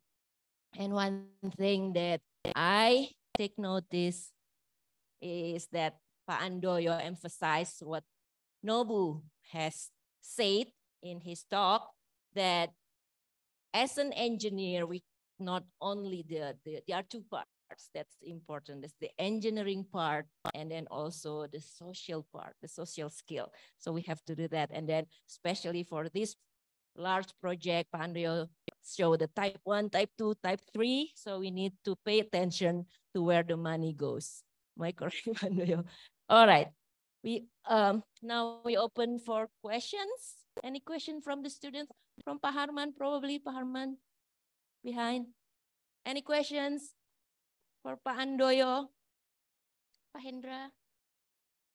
Any question from the online audience? Yeah, can you show it?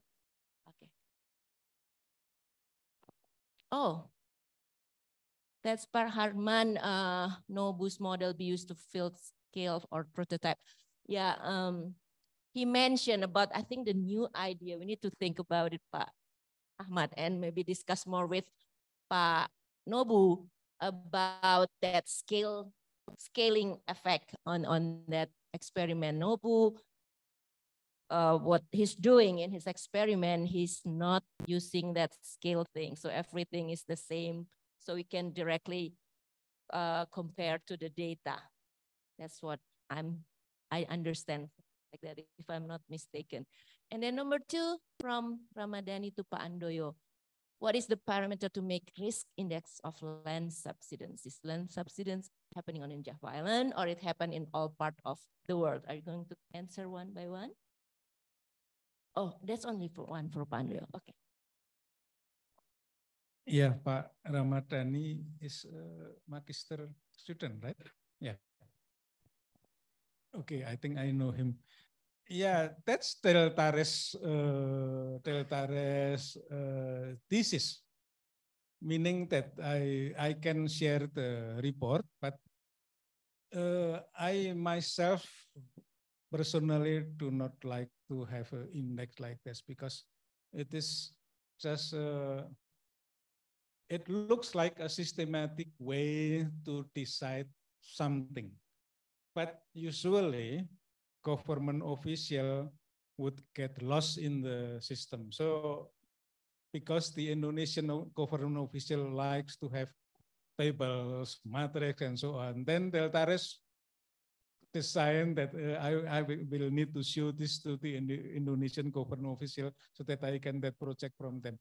Uh, Pak Ramadhani, I will share the Delta Res report, but for me, just look at the physical condition and some of the location that I show, you can judge yourself. For example, Jakarta with a very densely populated and uh, because it is a capital and uh, it is justified to spend a lot of money to protect.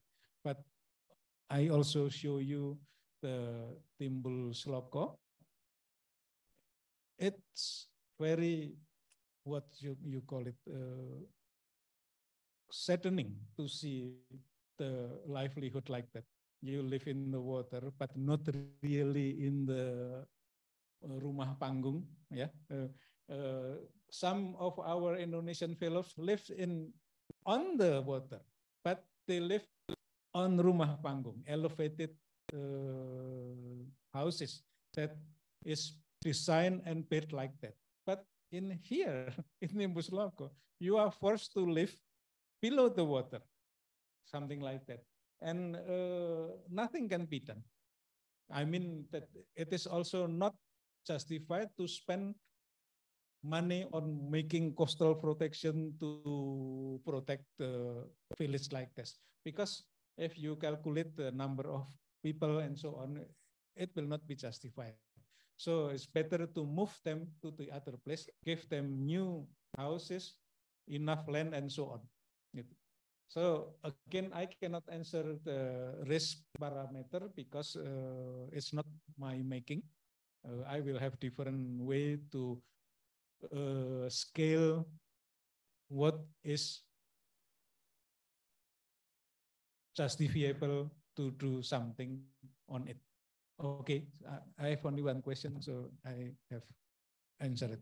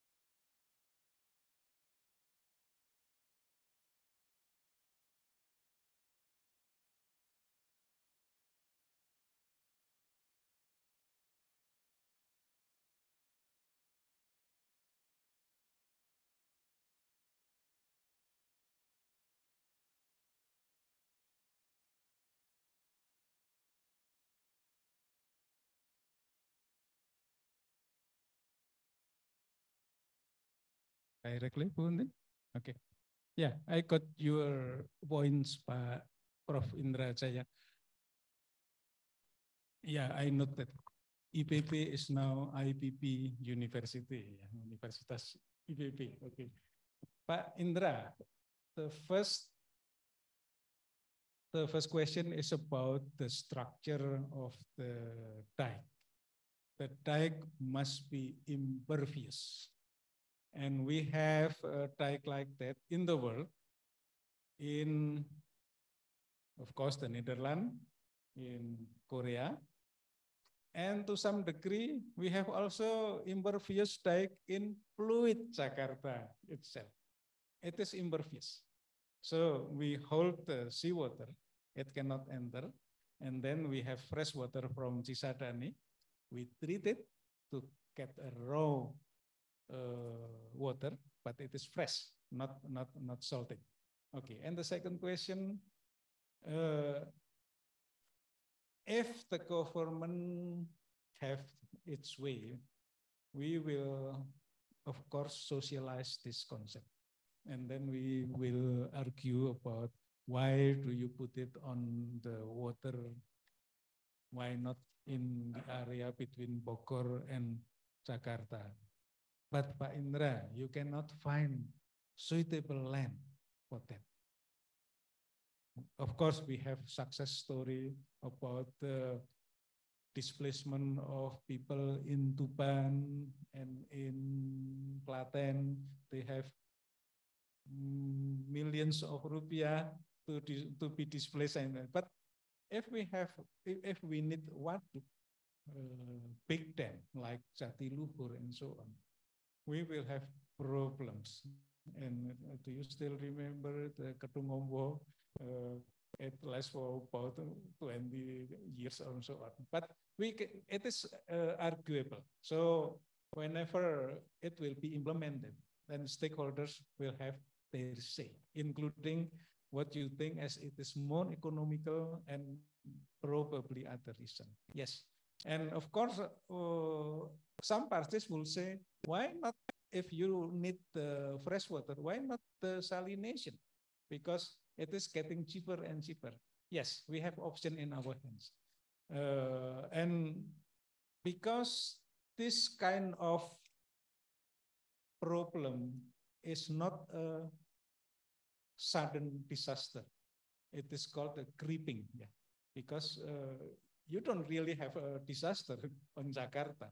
Uh, sometimes the, for example, in Semarang, sometimes the dike uh, rupture, and then you have a problem. It will last probably one or two weeks. After that, everything goes fine. You will land subsides continuously, but uh, there is no like earthquake or so on. That's why the government also do not put enough attention because yeah, their term is only five years and hopefully it will go to the next uh, governor or the next president and so on. But I got you two points. Yeah, so the first is the structure. We already have samples in the world that is impervious and it can be done. The second is arguable. This may not, the coastal reservoir may not be the best solution. We must test it.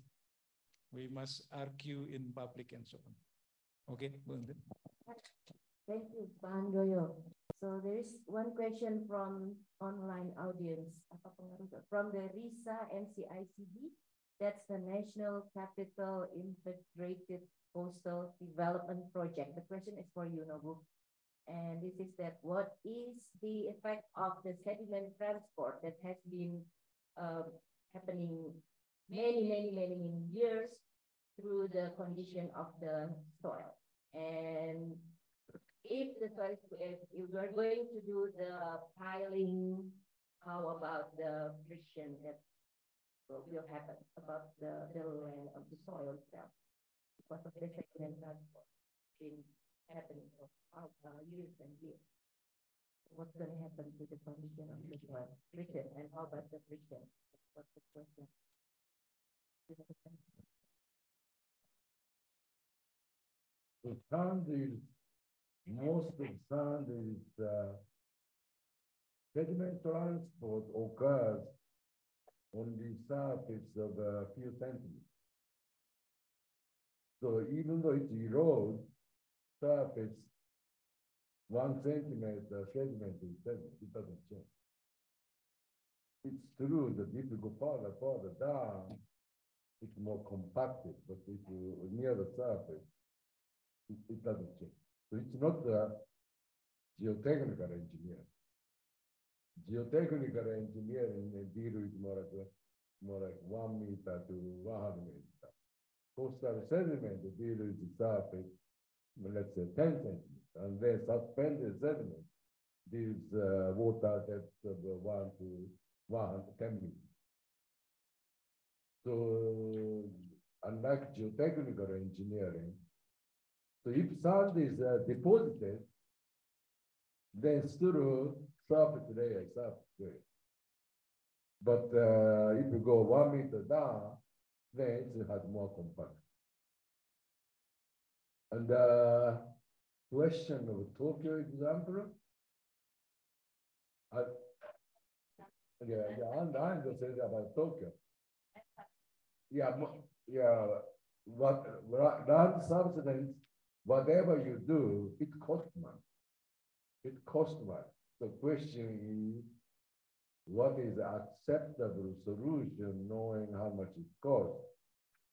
Tokyo's case, they built the so seawall, but at the gate, at the entrance, at the entrance, and also first, they told people to do not do groundwater, groundwater, no pumping. So that's more, okay, when it comes to the engineering, simplest solution tend to be work or accepted.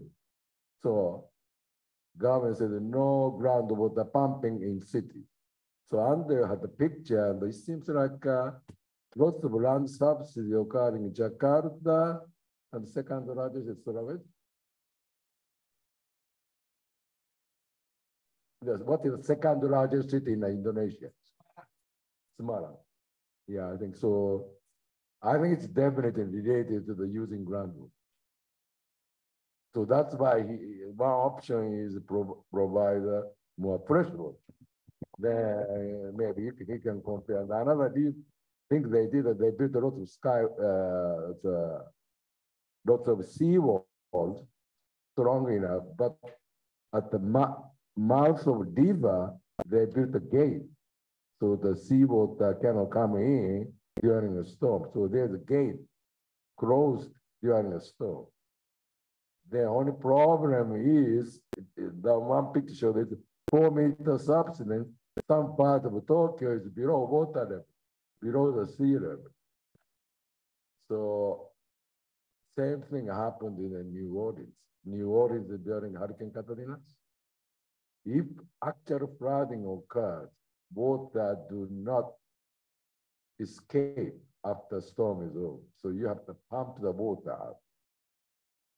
So I think uh, now in Japan, uh, disaster design storm is 500 years. Even 500 years storm occurs, nothing catastrophic, catastrophic. So it's bottom lines. You can, there are solutions but it costs money. That's the reason that, uh, and then, and they showed at the beginning, if uh, economically each province is independent, yeah. So that's why you said if it's uh, this uh, province has lots of money, they can do more expensive. But if you don't have money, cheap option, the problem cheap option without is analyzing how cheap. so I, I, think it's it has to be more rational. I think uh, because otherwise, bottom line is you may spend uh, one here, one here, one here. Then over the ten years, it may be ten.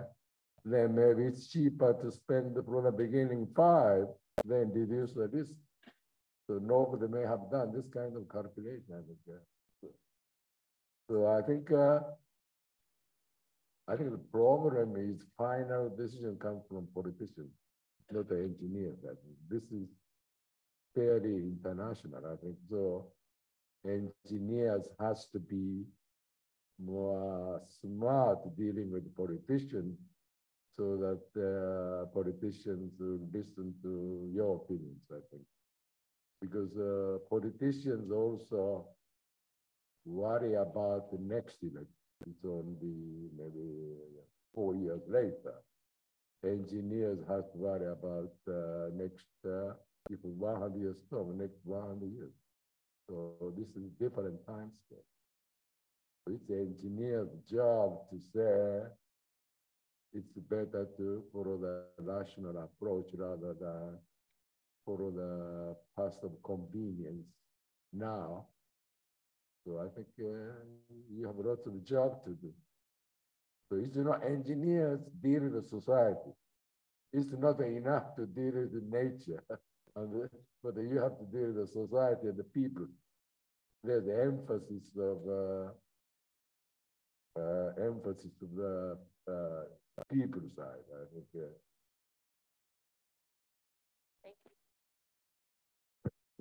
I think we have time limit. I think it's up. So there is one question for you, Andoyo, but I think we can answer it directly. Probably, Pak Andoyo, we can answer directly, not in this. Or yeah, because we still have Pak Muslim uh, who will give a talk also. So I'm sorry for whoever question, we have the question. Also, I saw Jules Fixan. So probably we can have a special seminar for your talk, Andoyo. Right. Yeah, we will keep and answer the question directly. Okay. Okay. So time is 11.15. So it's not, it's now it's time for our last but not least speaker, Pak Muslim, Pak Dr. Muslim Muin. He is also a graduate from Civil Engineering ITB, 1984. He got his master and PhD from the University of Rhode Island in ocean engineering. And now he is the head of our coastal engineering research group. Pak Andoyo mentioned before, he is also an advisor to the governor, uh, former governor of Jakarta uh, for the accelerated development atau TGUPP. And Pak Muslim has been developing a set of software um, and apply it to everywhere in Indonesia, a lot of places in Indonesia and also in the world.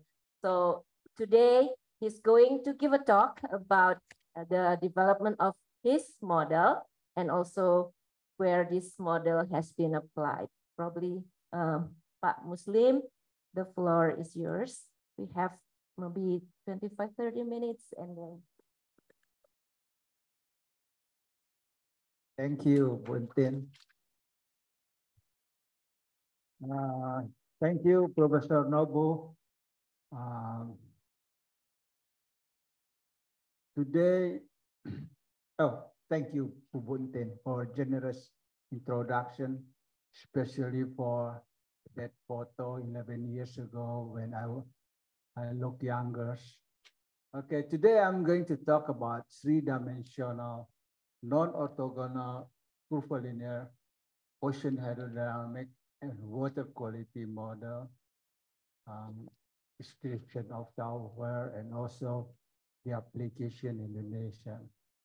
So I developed several software, uh, what I call it Motum, Mokua 3D, Mooset 3D, which is uh, sediment and hydrodynamic model was a noble because uh, you know that cohesive sediment depend on salinity and settling velocity, also erosion, armoring, etc., and must be coupled with uh, hydrodynamic model.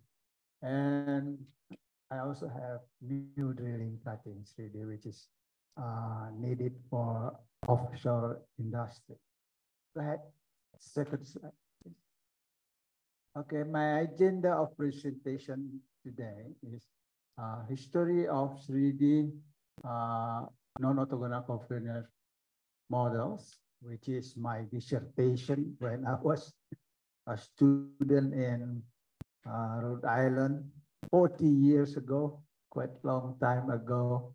Uh, and uh, like I'm not that. Uh, yes, I do consulting service, but not that active like Panda. Yeah. But I do uh, consulting service using my my own uh, software. So I'm going to talk about model features, uh, model development and testing, also model applications uh, about this software, Motum, then like Panda. I also would like to, to uh, emphasize that the importance of relationship academia, academia and industry. That is really important. And then talk about a little bit about Motum, Mokwal 3D, uh, milk drilling cutting, new shed 3D, and also tsunami. Pa, uh, uh, Professor Nobu and Miyuhi 3D. And then conclusion. What what uh, need to be done in the futures? Yeah, recently I also developed uh, with Indus current. Remember, Buntin was a supervisor of master degree students using this technique. And also, uh, Uh, I developed further uh, for Mokwa 3D non-conservative substance like dissolved oxygen, which is also important for Jakarta. Uh, um, Pandoyo mentioned that the water quality in Jakarta is very poor. And the, to be honest, Indonesian fail to separate sewer and drainage system. And very sad, no matter how hard you mention about it, you push it, it, is very slow, very difficult. That's that is our problem. That's why I um, I told uh, Dr. Danis Sumadilaga when he is uh, chief of infrastructure in a new capital city, IKN. What, what you need to do is separate sewer and drainage. If you don't separate sewer and drainage, it will be a problem in the future. Go ahead. Go. So this, the model, the non-orthogonal, I said, yeah, orthogonal curvilinear was based on my dissertation in University of Island and has been published in Journal Hydraulic Engineering 1997. Now, why spherical coordinate? Of course, because Earth is, is spherical, not flat. Then why we need geographic information system? Because if you develop a software, the output in numbers is annoying. We need to, to display it with uh, geographic information, information system. That's why we need GIS in, in our software. The software has been integrated to GIS system. So you can zoom, you can display the information system uh, in your map, and etc. You can display uh, satellite image, video, and so on. So now, why non-orthogonal models? Because it's so difficult to build or to create orthogonal grid system in complex area, especially Jakarta. There's a small rivers and so on. So we need non-orthogonal non-orthogonal model because we are facing non-orthogonal grid system. Right. Next, please.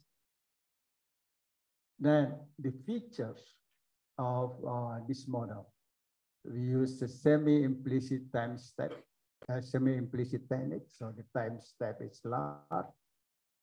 Sometimes I use uh, half hour for hydrodynamic time step is very robust hydrodynamics uh, models. Uh, and also it's not it's no longer limited by gravity wave speed.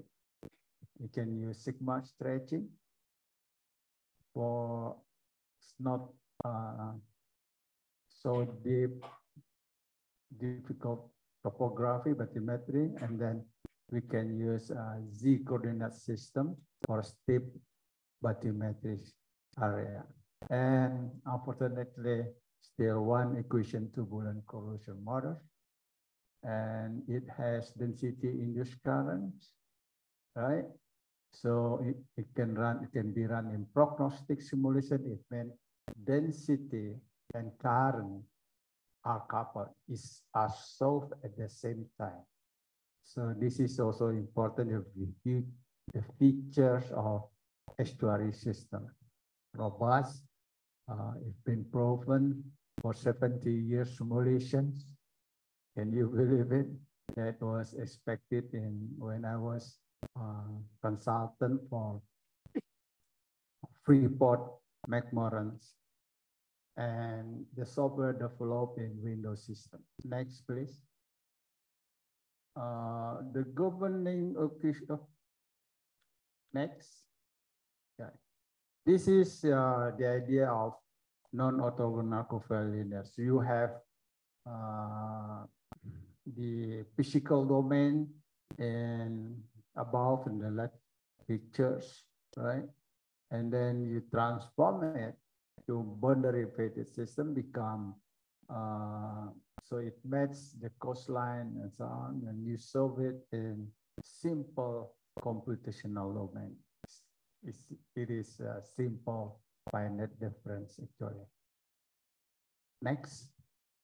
So this is the basic equation in spherical coordinate because our our planet is uh, not uh, our planet is not flat, so it's spherical. So we need a spherical coordinate system to make it calculation easier and uh, more reliable. Next. So after we convert the physical equation in spherical coordinate to boundary fitted non-orthogonal, the equation become messy, mess. It's, but it's not difficult actually if you are mm, if, if you focus how to solve this equation and had been solved uh, in my dissertation. Three-dimensional. This is in spherical. What is sigma stretching technique? Next. Next. So the, of course, the model need to be tested. So it had been tested for quadratic varying bathymetry. So the bathymetry is not flat and annular channels. And the, the result is, is good. Now, yes, you can see here for tidal. Next.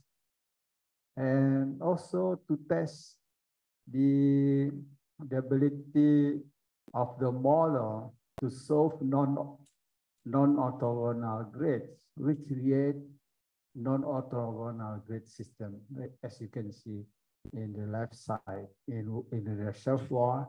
And there is the water depth in the reservoir is, is constant, is flat. So we expect the water level is the same everywhere and increase like that doesn't matter how non-orthogonal uh, the grid is. Next, please. Uh, model applications. The application of model worldwide by Applied Science Association, Applied Science Associate Incorporation, now become, I forgot, it's bought by another company but from England. And also uh, applied in many places in Australia, Coast for uh, control flood in that area, Canada, Bay of Fundy, Indonesia, of course. Because uh, I developed the model, I applied in Mahakam Delta, Madura Strait, and many places. And make me busy, for Professor Lobo. Uh, once you develop this uh, model, basic Gaussian hydrodynamic model, and then you you you make it in uh, one system in software, it, it will be very nice. Also in Vietnam and Gandre Bay. Next, please. So this is application in Savannah rivers. So that was when we were, uh, when we had uh, economic crisis in 96 or 97. I was invited to be uh, visiting professor in URI again and uh, Malcolm Spaulding uh, want me to, to apply this model in Savannah River. The impact of dredging canal when they increase the dredge canal and they want to see the salinity intrusion in Savannah rivers. And recently, when I take a look from website, they applied in New York Harbor and also in New Jersey. So it, it's been applied worldwide. And also in Australia, this is their measurement and from their report I, I obtained from uh, website. You can find it. Next, please. So this is uh, what I call it, this software, mutanology software. Uh, it has MOTUM, which is our spill model, MUSET 3D, uh, sediment transport model, mod water quality, and drilling cutting. We will see it. Next, please. So this is uh, uh, the oil spill models. Apply in when we had uh, oil spill and in Balikpapan, it has trajectory phase models, stochastic. It means we want to take a look the probability of impacted area, and backtracking is unique. We can find the uh, the probability of oil source. I said probability not certain point. So because nature is uh, is random process and also uh, the location is unknown. So it helps us to track where the oil come from, right? So the user of the software, most of oil company in Indonesia.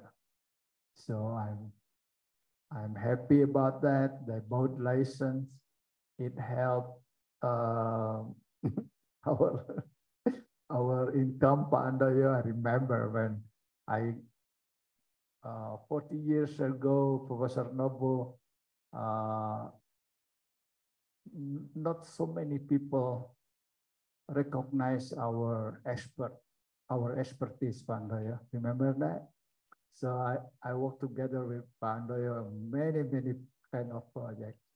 And sometimes it's not even an ocean engineering related project, but we have to survive. So Pak Andojo remember that. So uh, until finally we, we uh, industry uh, recognize our expertise and they bought this software and they're happy about it. And I'm also happy because I have another extra income rather than uh, minimum wages in Indonesia. So the the slide, uh, the picture below here is the application for Montara uh, blowout case where uh, oil from Australia reached Indonesian coastline. But that is Indonesia when they faced a problem with their neighbors, especially for uh, the neighbor strong country like Australia, they don't talk much.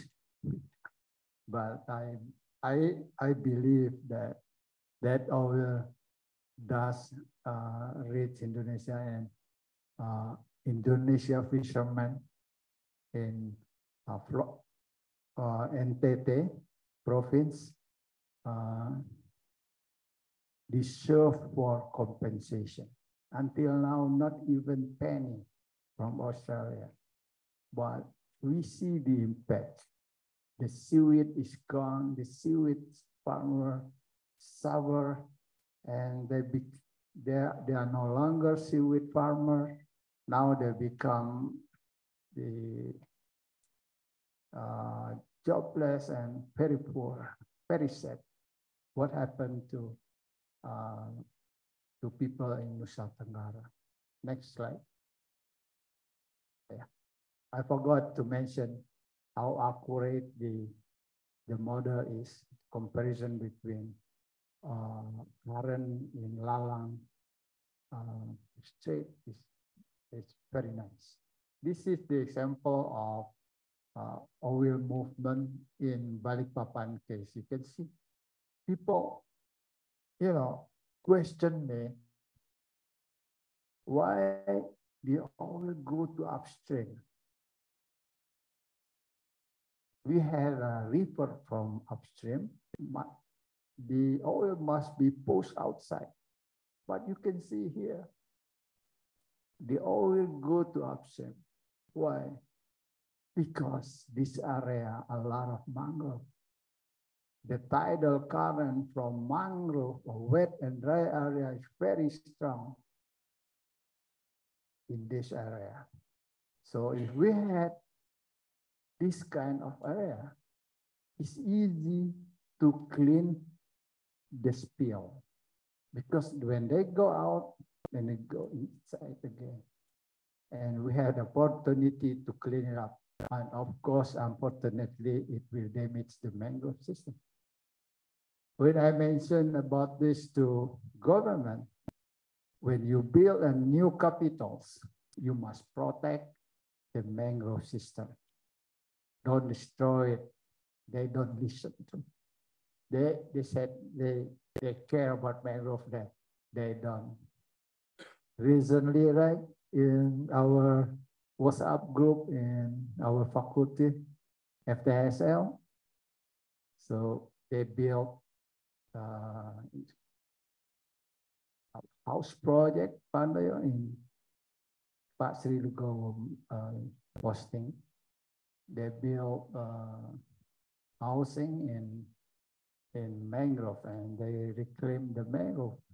If they make if they destroy the mangrove, Pak Indra knows about it, the dynamic, the dynamic system, strong dynamic system in and out of the current will be gone. And this, if this dynamic system gone, disappear, Pak Indra, what's going to happen? Poor water quality, sedimentation. Uh, please, Pak Indra Jaya, you are professor, you, your voice will be heard. uh, I, I remind the government about this a day normally. Next, please. So this is what we do for always our company. We do model setup uh, and uh, the grid system, the bathymetrics. So industry like it because what they need to do just click, click where the spill is, the duration, and the amount of the oil, type, typical of oil, and then that's it we give them where the oil will be will go and they give them the information what where we have to clean the, the spill. That's what I do in for for consulting service. Thanks. MOOC walls. is for water quality. The water quality could be conservative and non-conservative. And this one, simple non-conservative.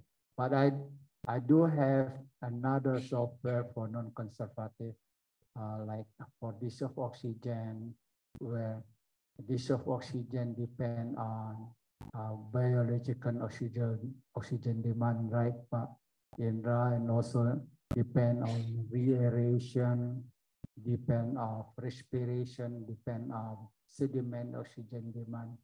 Uh, this software will be released in shortly. Uh, next, uh, this is application in Delta Mahakam. So you see the grid system are very complex. Next, please. Uh, this is drilling cutting. Drilling cutting, when our company uh, during exploration, they they they might release the drilling cutting. Uh, and we do this uh, simulation where what is the impact of this drilling cutting to environmental. Next. Uh, this is tsunami with Pak Andojo. we wrote uh, a paper together in Alaska. So this is application of software in in Aceh tsunami. Recently we applied for a Krakatau, one can remember, Krakatau case, and had been sent to uh, Journal Coastal Research, hopefully will be published soon. Thanks. Eh, also, I forgot to mention, for Mu tsunami, we also have sediment transport. We include sediment transport model in hydrodynamic models. The, the, the difficult thing of a tsunami is wave generation.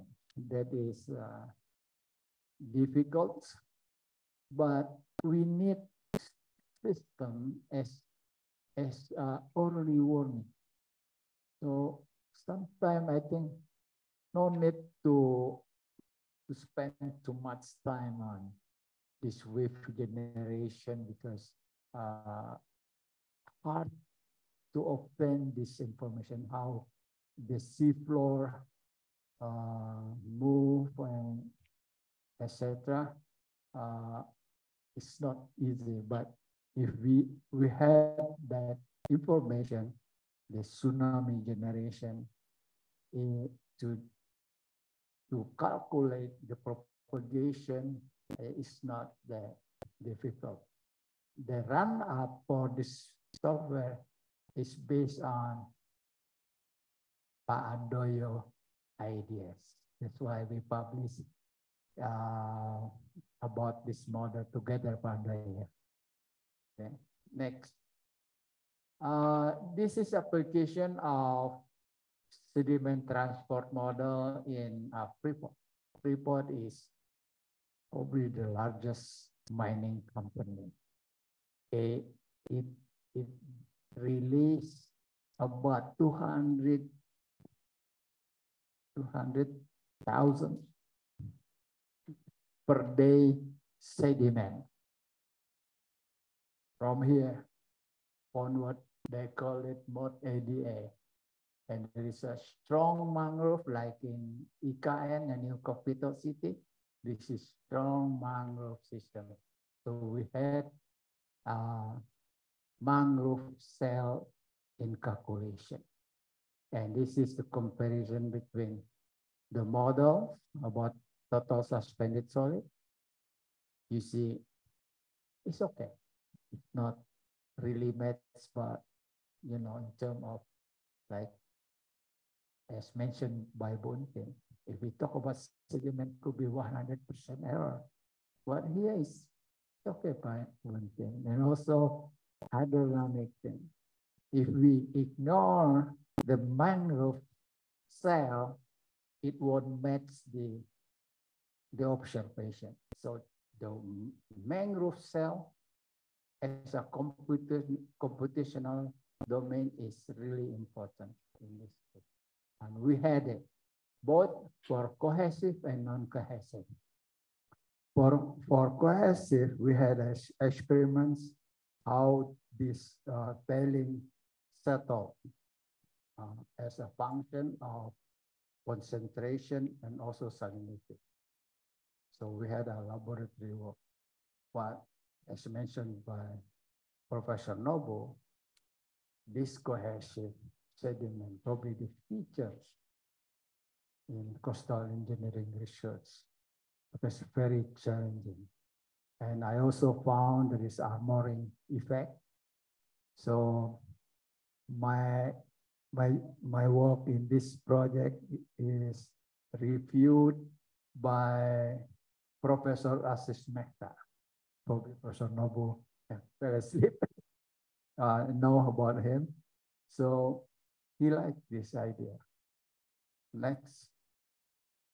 Uh, this is uh, you can see how the salinity is separated for for its mangrove system. This is uh, uh, very saline water. This is uh, fresh water separated by this in this mangrove system. And the interesting thing about this area, the sediment concentration is higher at the surface than at the bottom. It's very rare, right? If you, uh, you know, you do your instinct, you know that suspended solid must settle. And when it settles, higher concentration at the bottom, but not in this area. In this area, sediment concentration is high at the surface. That because density in this current. The density in this current push from ocean to, to upstream. Next. Uh, this is also another project to take a look the uh, dredging impact to pipeline. So the same thing happened and to me, Pak Andojo, when when we told the the contractor, if you continue to this dredging, it will make the pipeline uh, you will damage the, the, pipeline because it will be uh, suspended pipeline. Because erosion, if you do dredging, you you take away the the the position from before the uh, deposit in the pipeline. Then we had a problem along the pipeline. That's what what I found from the simulation. Next. Uh, this mohead is just for power plant application. Next. And also used by Konjur, Premier Oil, also Pertamina and Muara Okay, that we had a conclusion, Buntin. So the three had three-dimensional ocean hydrodynamic model using non-orthogonal spherical coordinate had been developed we don't depend, I don't depend on uh, commercial software or software uh, from abroad. Collaboration between academia and industry are extremely important for this country. Without the support, we are nothing. So all oil company has used this uh, Motum software and most drilling activity in I use modeling, new drilling cutting 3D. It's nice. It's good for me. Study, learn ocean hydrodynamic from US and come back and develop develop our own software. This this is very nice, you know. And sediment Moshet has also been used uh, in in several projects Mokwa, Mu3D also uh, been applied in Indonesia. Now we develop uh, new software for dissolved oxygen and also for wave induced current. Uh, that will it will be published soon, Buntin, because the supervisor of uh, of students under Buntin and uh, Bonita. Thank you for your attention.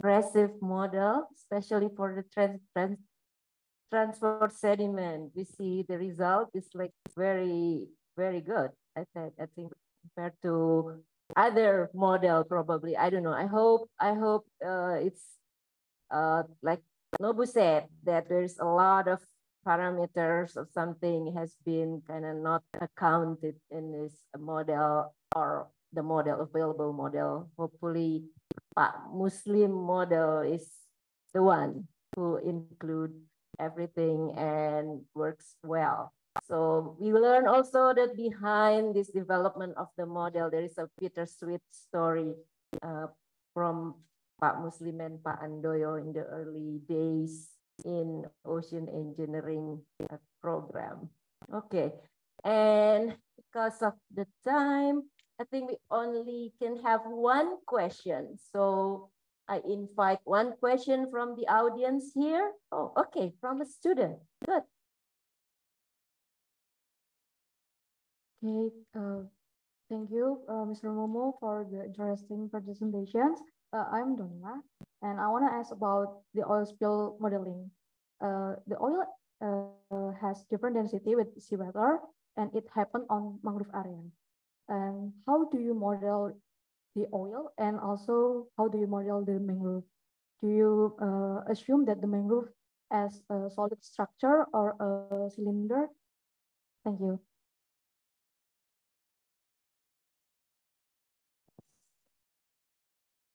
So uh, your question is how I handle the mangrove system? Yeah. So we need to know what is the mangrove. The, the mangrove uh, elevation uh, is normally in mean sea levels, right? And then when we have rising tide above mean sea level and the water go to the mangrove system just like that simple. Just you have this area, you you you can calculate how much the water will go in from that door, right? Yeah, you you do that. Simple, wet and dry area is even though simple is powerful. You cannot neglect that and during when when the waters come in bring sediment right it will settle you calculate it the settling velocity and etc and now for my mangrove system i assume there is no erosion in the mangrove. Because uh, it's difficult right? It's easy to for sediment to settle, but difficult to erode because it's very, very uh, weak current. The, the water current is low. It won't erode the sediment in from the mangrove system. So you, from that project, they like it. So uh, how is the sedimentation rate in the mangrove? Will it, will it destroy the mangrove tree or not? Get the question from Prabhupada. And I said, in this mangrove system, it will destroy. This system is okay, and we will change the, uh, the type of trees and so on. I hope I answer your question. All right. It's very challenging and hope, but unfortunately not so many uh, students interested to to write the code. That's that's true, Pak Muslim. So I think the question is how do you uh, treat the mangrove system in your model? So yeah. your answer is you just assume that in the mangrove system there is no erosion. All the sediment who comes there will settle. Is that correct? Yes. Is that correct? Wet, okay. wet and dry area, just like just like we had in this room. Right. It, uh, the level is mean sea levels, and we had uh, when the the sea level, uh, sea uh, rising tide, it will enter this this room, right? It's easy to calculate how how much the water divided by time, etc. All right. All right. So this there's assumption of what we how we treat the the mangrove. But of course, we see that mangrove is not just if we uh, we do it in the in the experiments, just like piling things, but in actual condition, the the roots itself is Yes. different from one Yes. species to the other species. So We- we- with the hydronomics, already difficult how to handle those things and imagine the you- sedimentation. you must assume the You elef- assume if you don't information of about the mangrove, you must assume the the topographic or the level of the mangrove. That is because to conduct topographic survey in mangroves is dangerous and also uh, difficult. And the mangrove system is assumed flat, the same elevation.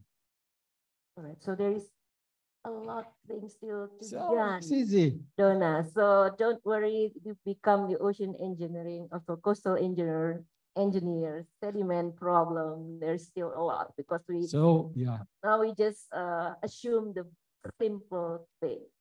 And then we just um, compare it to data and things like that, but still a lot to be done.